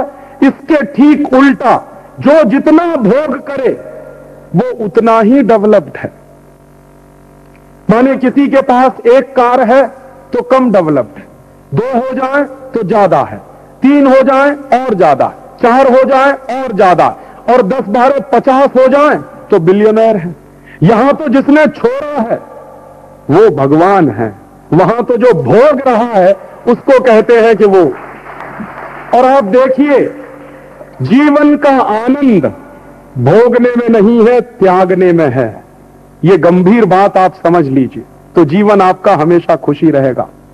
जीवन के कोई भी क्षण को अनुभव करिए। आप सबसे ज़्यादा आनंद कब महसूस करते हैं? जब सवेरे ही सवेरे उठते हैं, शौच के लिए जाते हैं, कुछ त्याग करते हैं, तब आनंद मिलता है। ये हंसने की बात नहीं है, ये बहुत गंभीर बात है। हाँ। सवेरे ही सवेरे उठते हैं, शौच के साथ साथ मूत्र का त्याग करते हैं तब आनंद मिलता है। सोचिए तो सही, यहाँ तो त्यागने में आनंद है, भोगने में आनंद नहीं, और भोगने की कोई सीमा नहीं होती। त्यागने की एक लिमिट है, आप अवर लिमिट तक जा सकते हैं। भोगने में आप डूबना शुरू कर दीजिए, उसमें से बाहर नहीं निकल पाए। इसलिए भारतीय संस्कृति हमेशा से त्यागने पर ज़ोर देती है, भोगने पर नहीं। भोगी जो होता है, जो कामी होता है जो विषय वासना में डूबा होता है, वो हमारे समाज में सबसे निकृष्ट माना जाता है। भारतीय समाज में जो त्यागी है, वो ऊँचा माना जाता है, ऊपर उठा हुआ माना जाता है। तो यहाँ डेवलपमेंट की यात्रा क्या है? भोग से त्याग की तरफ़। ये है डेवलपमेंट। और ये डेवलपमेंट अगर हम नहीं समझेंगे, तब तक हिंदुस्तान का शायद कल्याण नहीं होने वाला। ये गंभीर बात आपको समझनी ही पड़ेगी। और जब आप डेवलपमेंट की इस परिभाषा पर कसना शुरू करेंगे तो हिंदुस्तान में आपको जो विकसित नज़र आएँगे, वो ऐसे ही लोग होंगे जिनको आज आप हिकारत से देखते हैं। वो शायद इस देश के सबसे विकसित लोग होंगे। समझिए, ये भारतीय संस्कृति है। और ये भारतीय संस्कृति ज़िंदा रहेगी आगे भी। क्योंकि अभी भी यहाँ त्याग की बात है। कई बार लोग मुझको कहते हैं कि राजीव भाई, भारत का भविष्य क्या बहुत अच्छा है। क्यों? अभी भी इस देश के 80 प्रतिशत आदमी त्यागी हैं। भोगने वाले तो शुरू के 20 प्रतिशत लोग हैं। और इन 20 प्रतिशत लोगों को समझ में आने लगा है। ऐसा नहीं है कि वो समझ नहीं रहे। वो समझ रहे हैं कि जीवन की जितनी सुख सुविधाएँ हमने बटोरी उतना ही ज़्यादा गोलियाँ ले लेकर नींद आती है। जिनके पास कारें हैं, जिनके पास मोटे मोटे बैंक बैलेंसेस हैं, जिनके पास बड़े बड़े महल हैं, जिनके पास ऐश्वर्य और अयासी के सबसे ज़्यादा साधन हैं, उन्हीं को नींद नहीं आती रात में। बिना स्लीपिंग पिल्स लिए हुए। और जिनके पास कुछ नहीं है, दिन में दस रुपए की मजदूरी करते हैं चादर तान के ठाट से सोते हैं, सवेरे आँख खुलती है और सड़क पे ही सो जाते हैं। पता ही नहीं है उनको कि गद्दे पे सोए हैं कि सड़क पर सोए। और जो आदमी आठ घंटे की सुखकर नींद नहीं ले सकता, वो दुनिया का सबसे ज़्यादा फालतू है, मेरे शब्दों में। जिसको नींद नहीं आ रही है, जिसको भूख नहीं लग रही है ठीक से, जिसका शरीर ठीक से काम नहीं कर रहा है जो 12 घंटे 24 घंटे डिप्रेशन में दबा हुआ है, कौन सा विकसित आदमी है? होगा करोड़पति अपने लिए, लेकिन वो विकसित तो नहीं हो सकता। विकसित तो वो है जो सड़क पर सो गया चादर तान के ओढ़ के अभी आठ बजे, सवेरे उठेगा छह बजे, और एकदम स्फूर्तवान होकर फिर से काम में लग जाएगा। हम सवेरे उठेंगे तो 100 परसेंट डिप्रेशन के शिकार होंगे। और इस डिप्रेशन को दूर करने के लिए चाय पीनी पड़ेगी कॉफ़ी पीनी पड़ेगी, ये करना पड़ेगा, वो करना पड़ेगा। डिप्रेशन दूर ही नहीं होता और वो बेचारा सवेरे उठेगा, सूखी रोटी खाएगा प्याज के साथ और खाएगा नमक और चल देगा काम पर। फिर रात को आएगा, सो जाएगा। विकसित कौन है? ज़िंदगी का आनंद आपके पास नहीं है। और आप ये जान लीजिए, जीवन में अगर आनंद नहीं है आपके पास तो करोड़ों रुपए की संपत्ति कोई मतलब नहीं रखती। और एक चीज़ दूसरी और बता दूँ आपको, पैसे से आनंद नहीं खरीदा जा सकता कभी भी। कभी भी नहीं होता। अगर पैसे से आनंद खरीदा जाता तो जितने करोड़पति लोग हैं, वो सबसे आनंद वाले होते। और ये जान लीजिए, जितने करोड़पति हैं वही साधु संतों की शरण में सबसे ज़्यादा जाते हैं, क्योंकि सबसे ज़्यादा दुखी है। अगर दुख नहीं है जीवन में तो काहे को जाते हैं साधु संत महात्माओं के चक्कर में? क्यों बनवाते हैं गंडा ताबीज? इसलिए कि दुखी हैं आप। हर तरफ़ से दुखी। दुख जो है, भोगने में है, सुख जो है, त्यागने में है। डेवलपमेंट की परिभाषा समझ लीजिए, जितना त्याग करेंगे, उतने ही विकसित होते चले जाएँगे। इसलिए मैं कहता हूँ कि त्याग करिए चाय और कॉफ़ी का। आपका डेवलपमेंट होगा। त्याग करिए पेप्सी कोला और कोका कोला का, आपका डेवलपमेंट होगा। त्याग करिए आप कॉलगेट क्लोजअप सिबा का फॉरहंस का, आपका डेवलपमेंट होगा। जाइए किधर? पीछे लौटिए प्रकृति की तरफ़। हम बहुत दूर हो गए हैं प्रकृति से। हिंदुस्तान में विकास माने बैक टू द नेचर। भटक गए थे। आज समझ में आ रहा है तो वापस लौट आइए, क्योंकि अमेरिका और यूरोप वालों को आज समझ में आ रहा है। और उनको समझ में आ रहा है तो क्या कह रहे हैं? उनको समझ में आ रहा है तो कह रहे हैं कि अब हमको ऑर्गेनिक प्रोडक्ट चाहिए। अमेरिका में उस किसान को सबसे बड़ा इनाम मिलता है, जो बिना केमिकल फर्टिलाइज़र के गेहूँ पैदा करता है। सबसे बड़ा इनाम उसको मिलता है। यूरोप में उन किसानों को सबसे बड़ा इनाम मिलता है जो बिना केमिकल फर्टिलाइज़र के, खाद, बिना केमिकल खाद के दालें पैदा करते हैं, चना पैदा करते हैं, फल पैदा करते हैं। वो चाहते हैं कि हमको ऑर्गेनिक प्रोडक्ट्स चाहिए। दुर्भाग्य से उनके पास गाय की संख्या इतनी नहीं है जो ऑर्गेनिक मैन्योर दे सके उनको। हमारे पास है, अभी भी है। बहुत बर्बाद नहीं हुआ है अभी भी ये देश। काफ़ी बचा हुआ है। गाँव में तो अभी बहुत बचा हुआ है। बर्बादी ज़्यादा आई है शहरों में। गाँव अभी भी बचे हुए हैं, क्योंकि संस्कृति बची हुई है, भारतीयता बची हुई। लौटिए प्रकृति की तरफ़ क्यों? क्योंकि एक बात और गांठ बाँध के जाइए यहाँ से। हिंदुस्तान में रूल ऑफ़ द नेचर चलता है। यहाँ रूल ऑफ़ द लॉ नहीं चलता इस देश में। यूरोप और अमेरिका में रूल ऑफ़ द लॉ चलता है। हिंदुस्तान में रूल ऑफ़ द नेचर चलता है। क्यों चलता है? देखिए जीवन का एक एक काम रूल ऑफ़ द नेचर को फॉलो करने के लिए किया जाता है। मेरी माँ, आपकी माँ, आपके घर की माताएँ, बहनें तुलसी को पानी देती हैं। Rule of the nature follow करने के लिए। इस देश में मारुति कार की पूजा बेवकूफ़ लोग करते हैं। तुलसी की पूजा होती है इस देश में रूल ऑफ़ द लॉ चलता तो मारुति को पानी देना चाहिए, उसको टीका करना चाहिए, लेकिन नहीं होता। मारुति में बैठने वाली भी माताएँ तुलसी को ही पानी देती हैं। माने अभी भी भारतीयता ज़िंदा है। मारुति में बैठने के बाद भी बर्बाद नहीं हुई है पूरी तरह से। और मैं मानता हूँ कि जब तक हिंदुस्तान के घरों में तुलसी ज़िंदा है, हिंदुस्तान की संस्कृति ज़िंदा है।